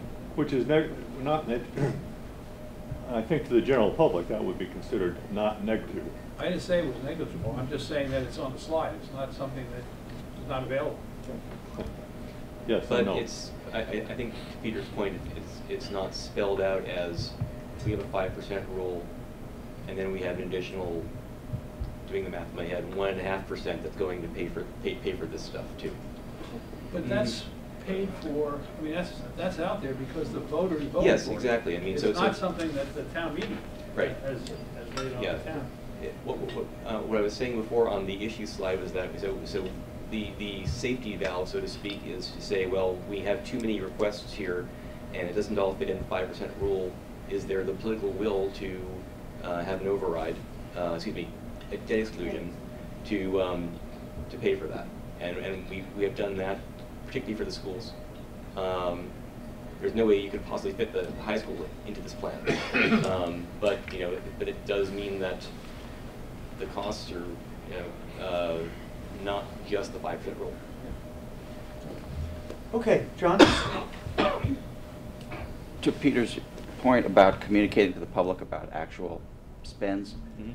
I think maybe when you're communicating about the cost of playgrounds now basically doubling, um, you could communicate to town meeting members and put that at the feet of the unfunded mandate that the state passed to use these new surfaces, because I was pretty closely involved in the Hardy School development, and, uh, you know, what you said is exactly right. The capital planning had a, had a figure in their head, and then there's a new mandate that you have to use these surfaces, and everything doubled, uh, because wood chips aren't apparently good enough anymore. So, you know, the state's creating these regulations, the town is, town taxpayers are, are paying for it. So, um, you know, to the extent that people in town meeting are politically active and need to let their representatives know that if they're gonna pass requirements that we have to double the cost of every playground, they might wanna consider providing funding to help us do that. Thank you. Any other questions or comments? Oh, Annie? Um, We thought about the possibility of figuring out whether or not there's a good rule of thumb for what percent of, like, like what should be a rule of thumb about the max exempted debt service we ought to have? Am I making any sense? Yeah, you are. Okay, Um, because there's other projects besides the schools that a debt exclusion might make sense for if we could explain our philosophy about it. I think the five percent rule on capital, it's easy to explain that to a resident who says, well, why don't we just not buy police cars? The answer is, look, we need to invest a certain amount, da-da-da. We limit it, even in good years, it doesn't go over this, and in bad years, you know, we have some flexibility, da-da. We had a similar rule about exempt debt service, we could figure out something that makes sense. It might be an easy way to explain to people how projects roll on and off of that Yeah. list. Um, and then I have one other thought for you, which is that, um, I think the Fox Library is a place where the idea of public-private partnership really makes a lot of sense. And there are many, many, many nonprofit affordable housing developers, not just HCA, but larger organizations who would be great partners for this kind of thing and wouldn't see a library on the first floor as a burden. So, just food for thought. Yeah, it, it, it's been raised in a very, I would say, nebulous way so far, because we're so far out from getting any details on that. Mhm. And, you know, as we get closer to that and, and as, as studies progress, we'll probably get there, but we're not there yet. Charlie? Um, I- I would just like to make a comment about the idea of an annual override um, for uh, capital purposes or whatever. It- It's my experience that overrides suck up a tremendous amount of volunteer energy. And, and as a result, and and oftentimes, as Alan mentioned before, in certain towns, they are unpredictable.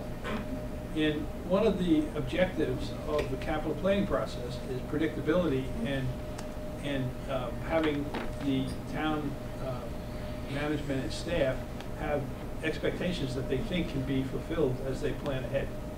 So I am very skeptical about that idea. I I wasn't thinking of actually holding an override every year, but just of having a number in our head that is, you know, like if we uh, peak out at, say, six million dollars a year of exempt debt service, as that rolls off, in our own thinking, be thinking about, okay, the next project that comes along that can't be done within the five percent, well, we have a little capacity here that won't be seen as a huge jump in taxes since taxes are coming down.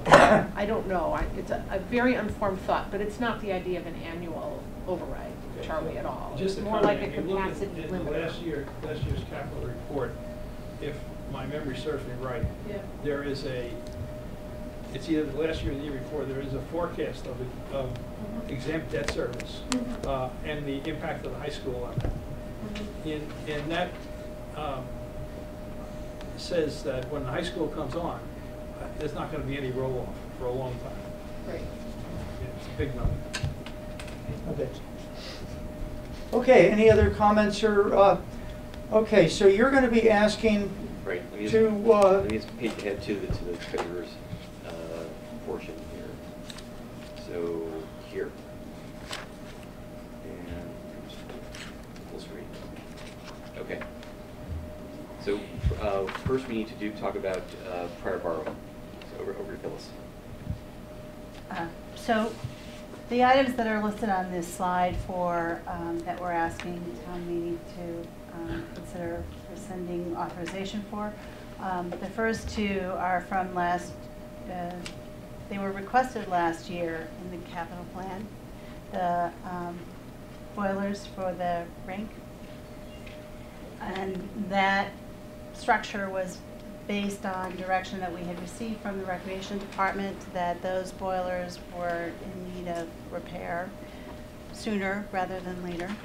Um, And when the Facilities Department met with Recreation this year in terms of, in, prior to the bond issue that we did, um, it was determined that those boilers could last probably another three years or more. So um, we um, are asking that the uh, town meeting consider rescinding that authorization, and then we will incorporate it into a future capital plan. The second item, um, the 125,000 was,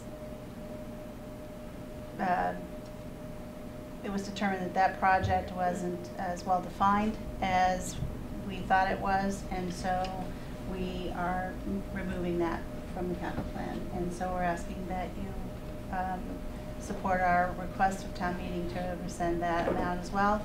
And the big ticket item, um, the million dollars is what remains from the authorization for the Stratton uh, school renovation. You may remember from last year's town meeting that um, we moved some money from the um, modular portion to pay for the, that was remaining from the modular borrowing, and we used that to pay for the cost, which um, left for the cost of Stratton renovation. So that left a million dollars that we no longer need to borrow. And so we would ask that town meeting rescind that authorization as well. Okay. I just have to ask, as a Stratton parent, long time Stratton parent, did the entire Stratton project happen and there, those modulars just cost a million dollars less than we expected? Is This is happened? not from the modulars, um, and the, that was, it was just money that remained in the modulars, so I don't, I don't have the number off the top of my head. It wasn't, um, I don't remember from last year, um, but we moved, I thought it was around a hundred thousand, um, or, um, from the modulars to pay for the Stratton renovation. And this money has not been borrowed, and it was determined that we didn't need to borrow it, so. Oh, I see. So like a hundred thousand from the modulars went to the project and then the money that was authorized just wasn't needed for the project? Right. Got it. Okay, John? Um, the one fifty that you think you'll need to spend in three years for the rink boiler, that wasn't on the capital plan that I saw. You only had two items for the rink, hundred and fifty. Last year. Right, and you didn't spend it, but you just said, we do think, we didn't have to spend it last year, but we do think we might have to spend it in like three years. Possibly. So, It's not on the plan, that's correct. s- is there a reason for that? Was just oversight or what? uh, Um, I don't think it was oversight as much as um, we're hoping that it- we will have a better definition of what kind of boilers are needed, and the numbers that we had just didn't make sense. So instead of changing the number and estimating three years out, we wanted to bring a number that was meaningful in terms of what actually was required to meet the need.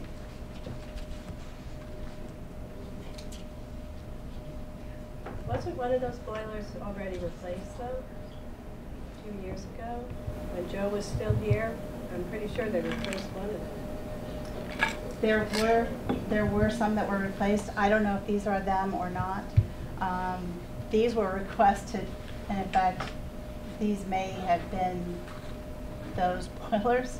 If, I think there was one that they felt like they had the wrong type of boiler in there, like it was a residential boiler and not a commercial grade boiler. Hence the reason we need real numbers that are meaningful.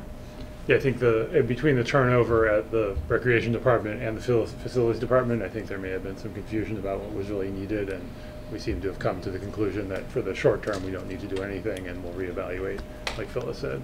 So town management and the recreation department are fine with rescinding this issue. Yes. Okay. Any other questions just on the uh, rescission of prior borrowing? Okay? Okay. Now, reappropriation. So, um, this is the punch slide.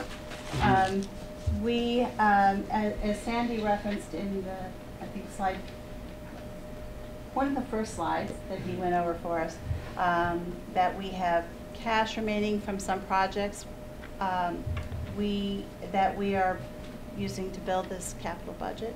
Uh, we also have some money that remains from bond issues that were um, actually borrowed, and those projects have closed out. Um, and so the total we're asking uh, to reappropriate is one million one sixteen oh forty eight last year, we asked for a reappropriation for borrowed money that was eight hundred and um, so we're asking again that you approve this, and I'm gonna walk through the slides that show how we're going to, um, recommend it, because as you may recall, we are required to map, um, reappropriation of borrowed funds so that they match the same term or longer. And you can't let cash just sit there. That's right. Questions? So um, on the next slide, um, we have the, uh, the total of $258,411. And those are um, projects that we had um, borrowed. Uh, As you can see, the um, meeting date for these authorizations are listed here. And um, those are grouped that way because we are, um, skip forward to the, to the next page.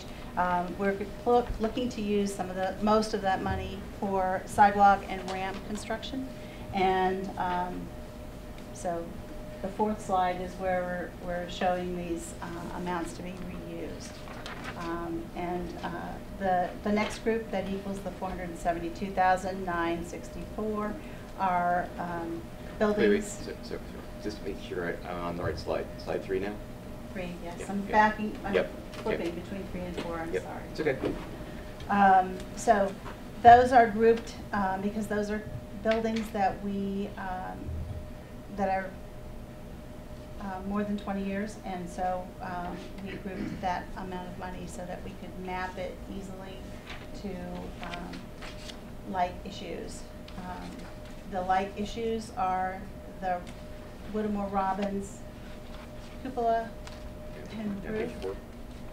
Yes, I'm on four, sorry.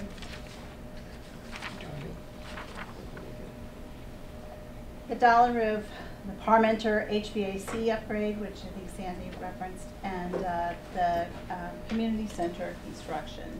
They had originally asked for an additional appropriation of two hundred fifty thousand, and so we're going to use this, these bond proceeds that we're remapping to pay for those instead of borrowing them. Um, And the, the last group is, is, the last, the Thompson is separate because that's an exempt project that was um, voted, and so we have to use that money on another exempt project, or we have to talk to the state about adjusting our um, schedules to the DOR. So, um, and since we have a need at the uh, high school, that's where we would like to recommend um, a vote for you and for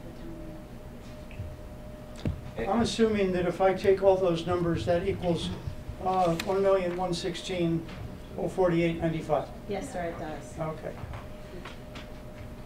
Okay, questions on this? Rounded to the nearest penny. Absolutely. We want to close these accounts out and be able to spend them in a more timely way. Okay, I think what I'd like to do now is actually discuss and vote on these two issues, because otherwise we're just piling, you know, one thing on another that gets, can get confusing.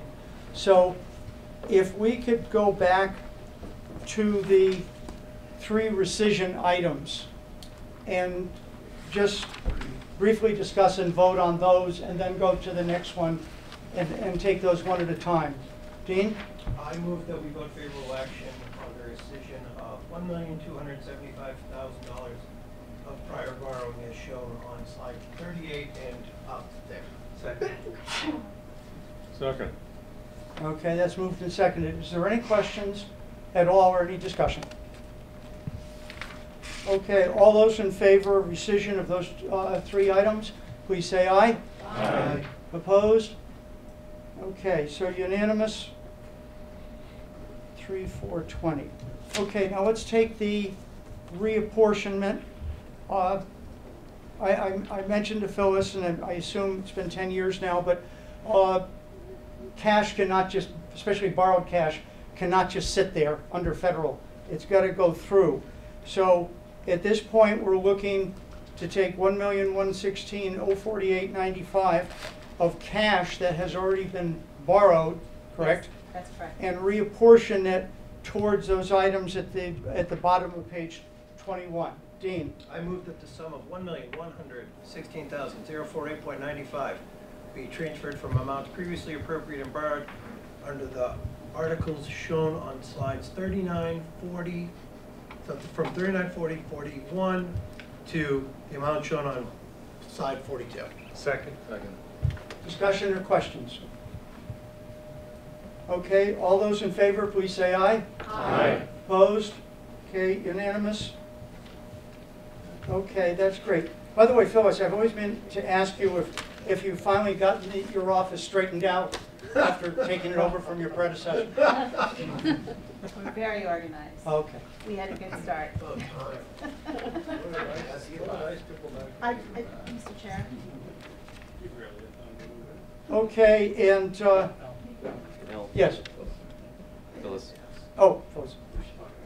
Um, I, I, um, I'm sort of calling out a turn here, but, um, there is an article that is on the draft warrant for authorization and an appropriation of bond premiums. Can I speak to you about that? It's, um, I'm prepared to talk about it now, but I know the capital planning committee's report is not. Okay, um, can we just finish with the capital and then Yes, that'd be fine. Um, now, the transfer of ten thousand dollars from perpetual care, if I remember correctly, we already voted that last time? Peter? Well, we'll take care of it anyway. So, Dan? I move that we vote to transfer ten thousand dollars from perpetual care to the capital budget. Second. Okay. Any discussion? Okay, all those in favor, please say aye. Aye. Opposed? Okay, we might have just done it twice, but that's okay. Uh, Okay, so now we have the recommended vote. Yes. Okay. So, Sandy, pa- slide forty-four, which you should all have a, uh, a new You all have a handout. handout, a single page handout that looks like this, Uh, which, Replaces. as the night goes on, the numbers just get smaller. We all need our. Or three and four slides. Right. Uh, anybody can do it with three or four slides, fellas, we're gonna do it with one.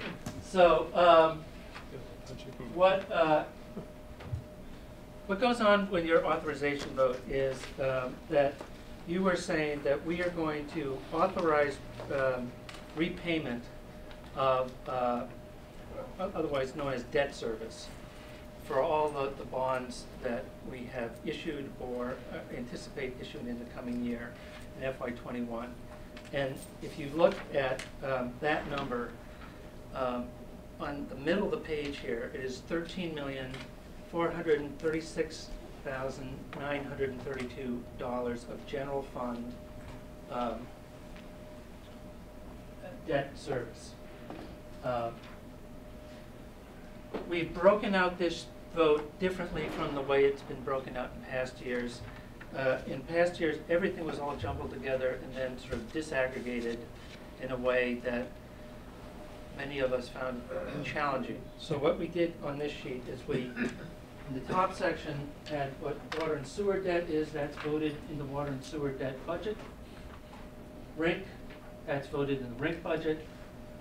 Recreation debt, that's voted in, in the recreation enterprise fund budget, and then general fund is what you're voting tonight.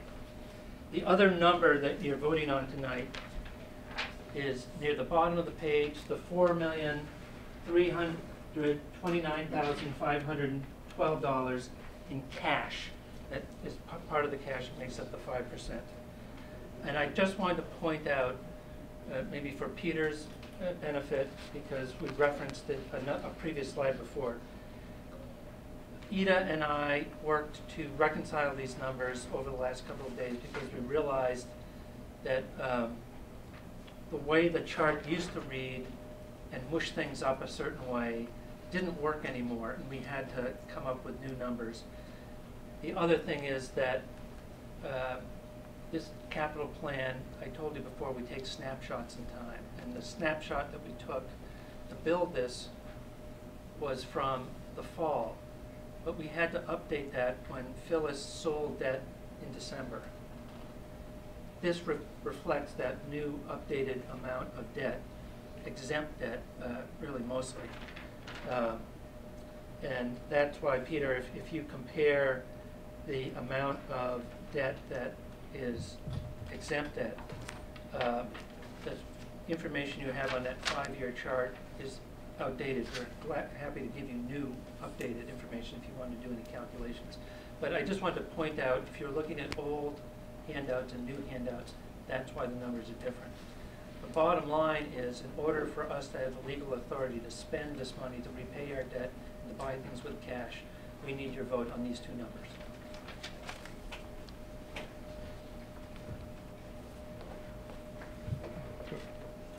So the only two numbers that we need to specifically vote on is the general fund debt appropriation, which will include all debt, exempt and non-exempt, and the cash, four million, three twenty-nine. Correct. Correct, okay. And you and Alan are gonna have this all straightened out with the whole budget by April fifteenth. Absolutely. Okay, just want to make sure.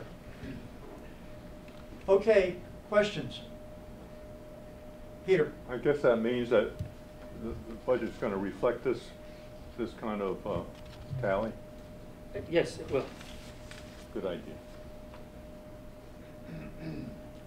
Other questions? Brian?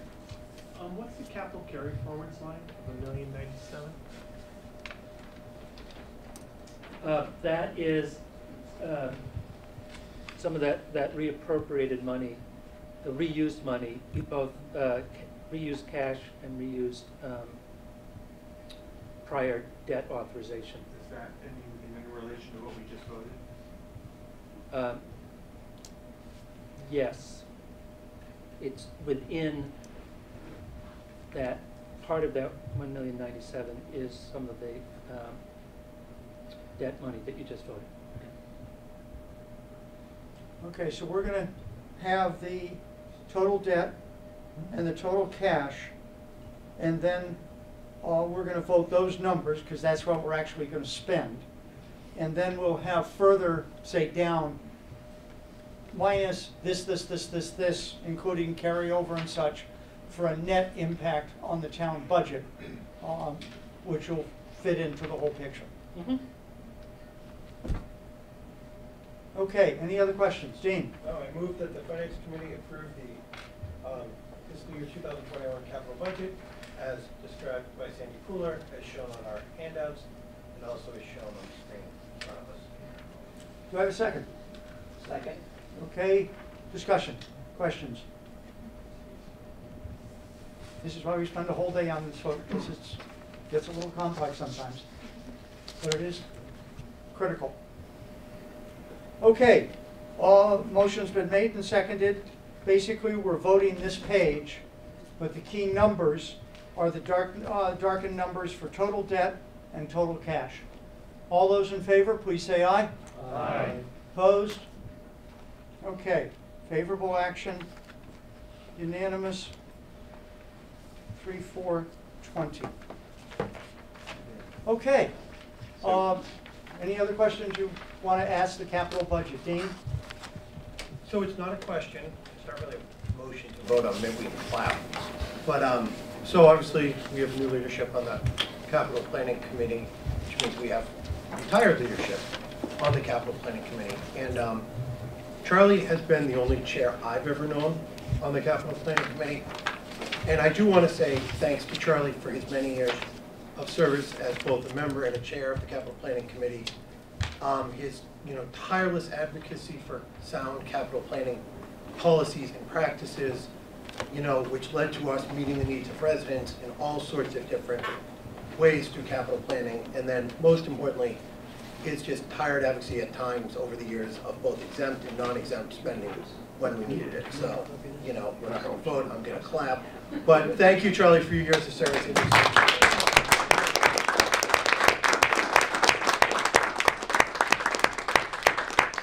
I second the motion.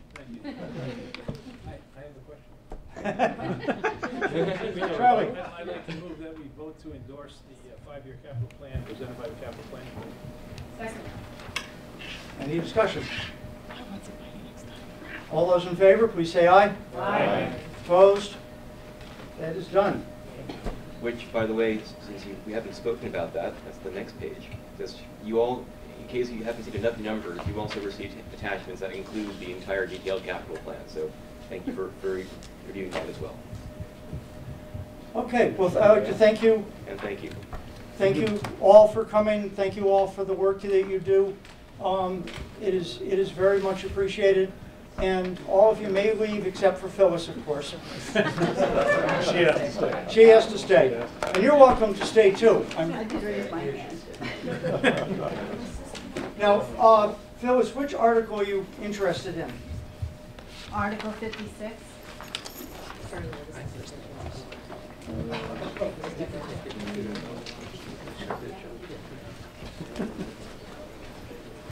Ah, 56.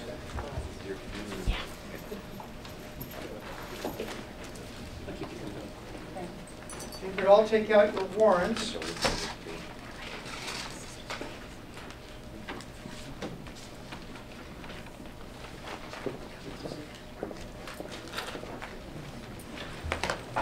Page thirteen.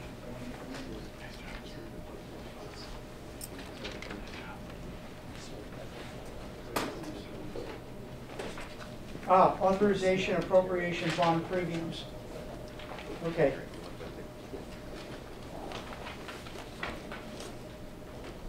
So this article is for um, you and for town meeting. um, Because in our um, preparation of the special town meeting article last year to approve the high school, um, we, as you, many of you know, the MSBA is very, very particular about the wording of these articles. And so um, that was the,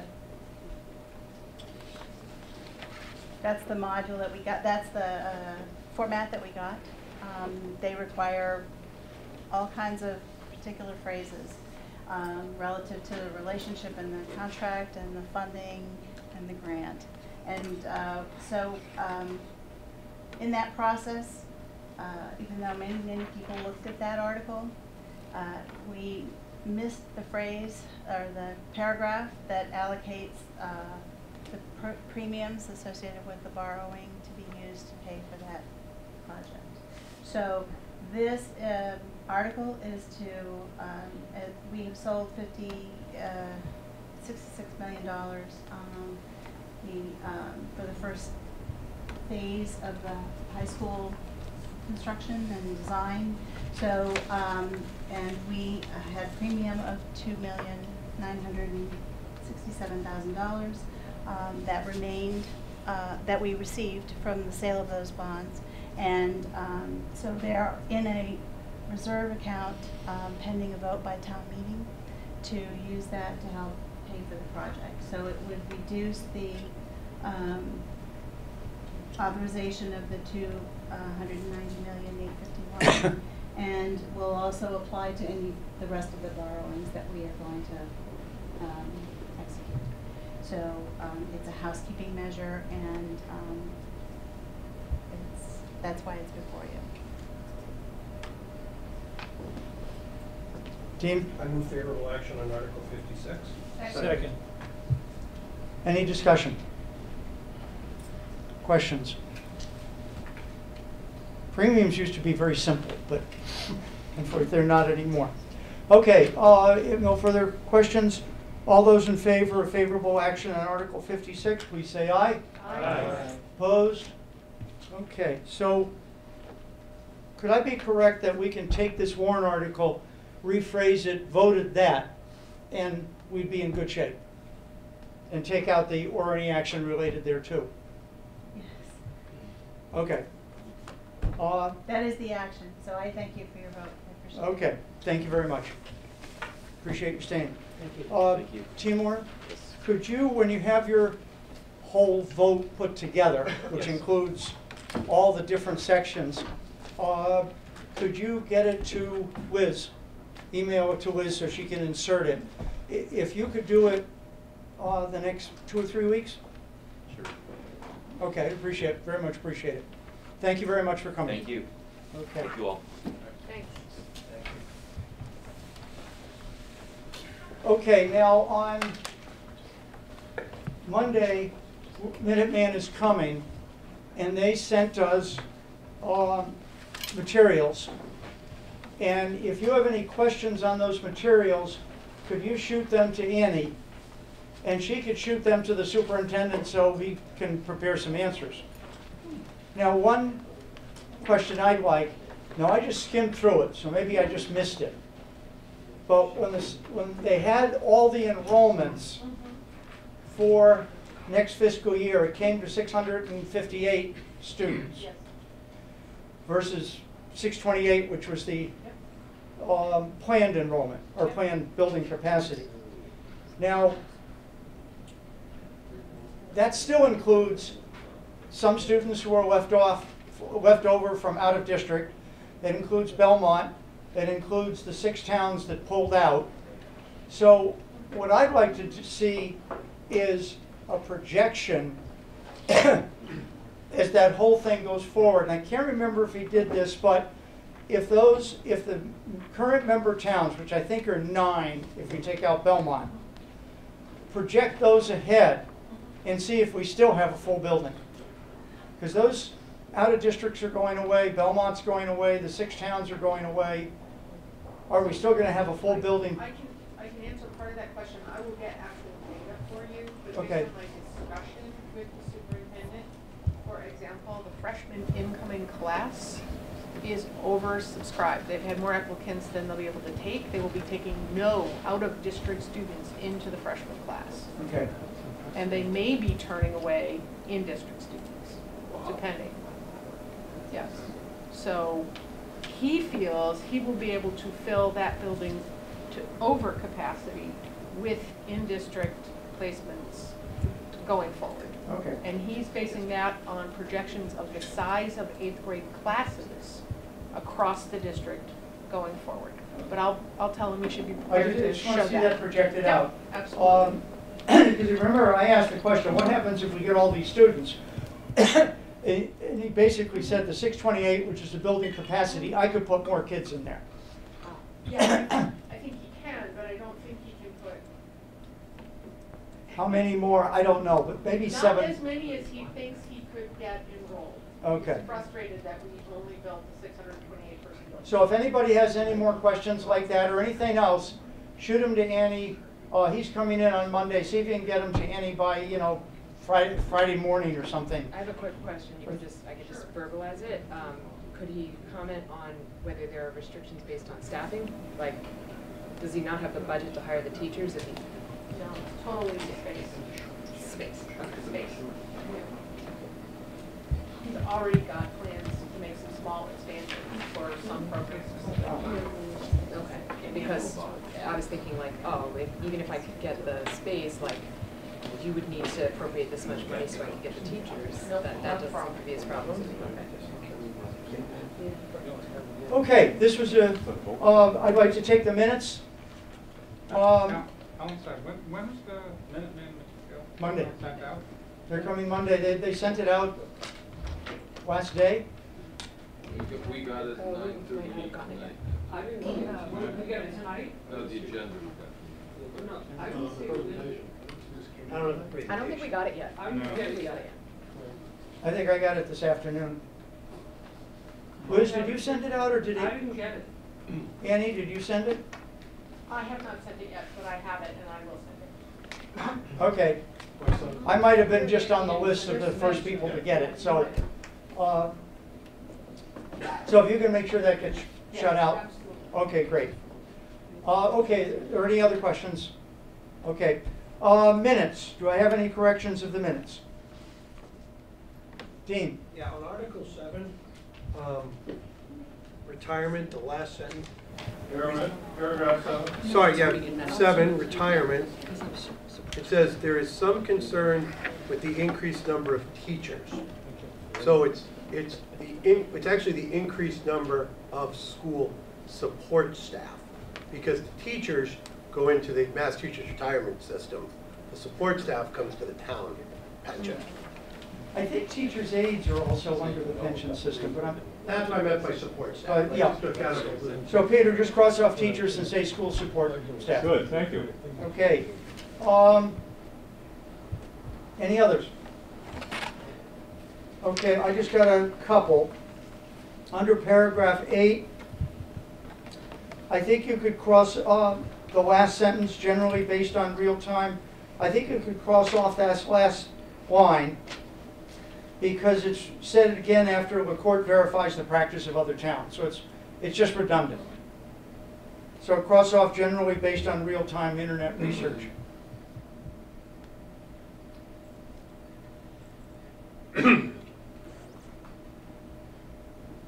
You see what I mean, Peter? Remember, I know what you mean, and I understand, but I don't see the wording. Okay, article, uh, paragraph eight, Yeah, the last line, the last two lines, generally, starts with generally. oh, I, I see. Just cross the, cross that and members off. Okay. Paragraph eleven.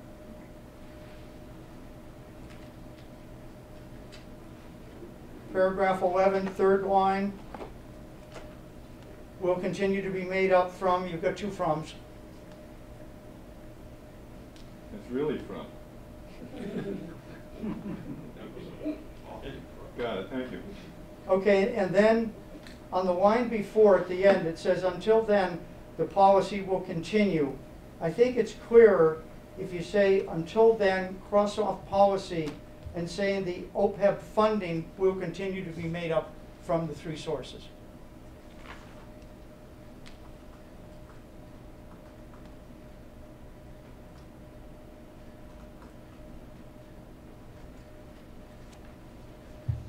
Okay, then on, on then on paragraph sixteen. It's What's next, that? Uh, you know, Next meeting- afternoon. next, next meeting is Wednesday, the fourth, not Monday. Thank you. Okay, any other corrections? Arif? On five, six, and seven, uh, my name is spelled incorrectly. And so is Finham. Hmm? Six, five, six, seven. Or is that finance? Information technology. I'm missing an I. Oh, no, the whole thing is wrong. The whole thing's wrong. A R I A. I'll try harder, sorry about No, no, that. No problem. Okay, any other corrections? Do I have a motion on the minutes? So moved. Second? All those in favor, please say aye. Aye. Opposed? Okay, minutes are approved. Uh, okay, on Monday, we will have, um, Minuteman will be in, and we'll be taking a voting on that, and then that usually takes about half. So hopefully, uh, we can finish up some more warrant articles, and, uh, we can take care of more budgets. So any other business? Meeting adjourned.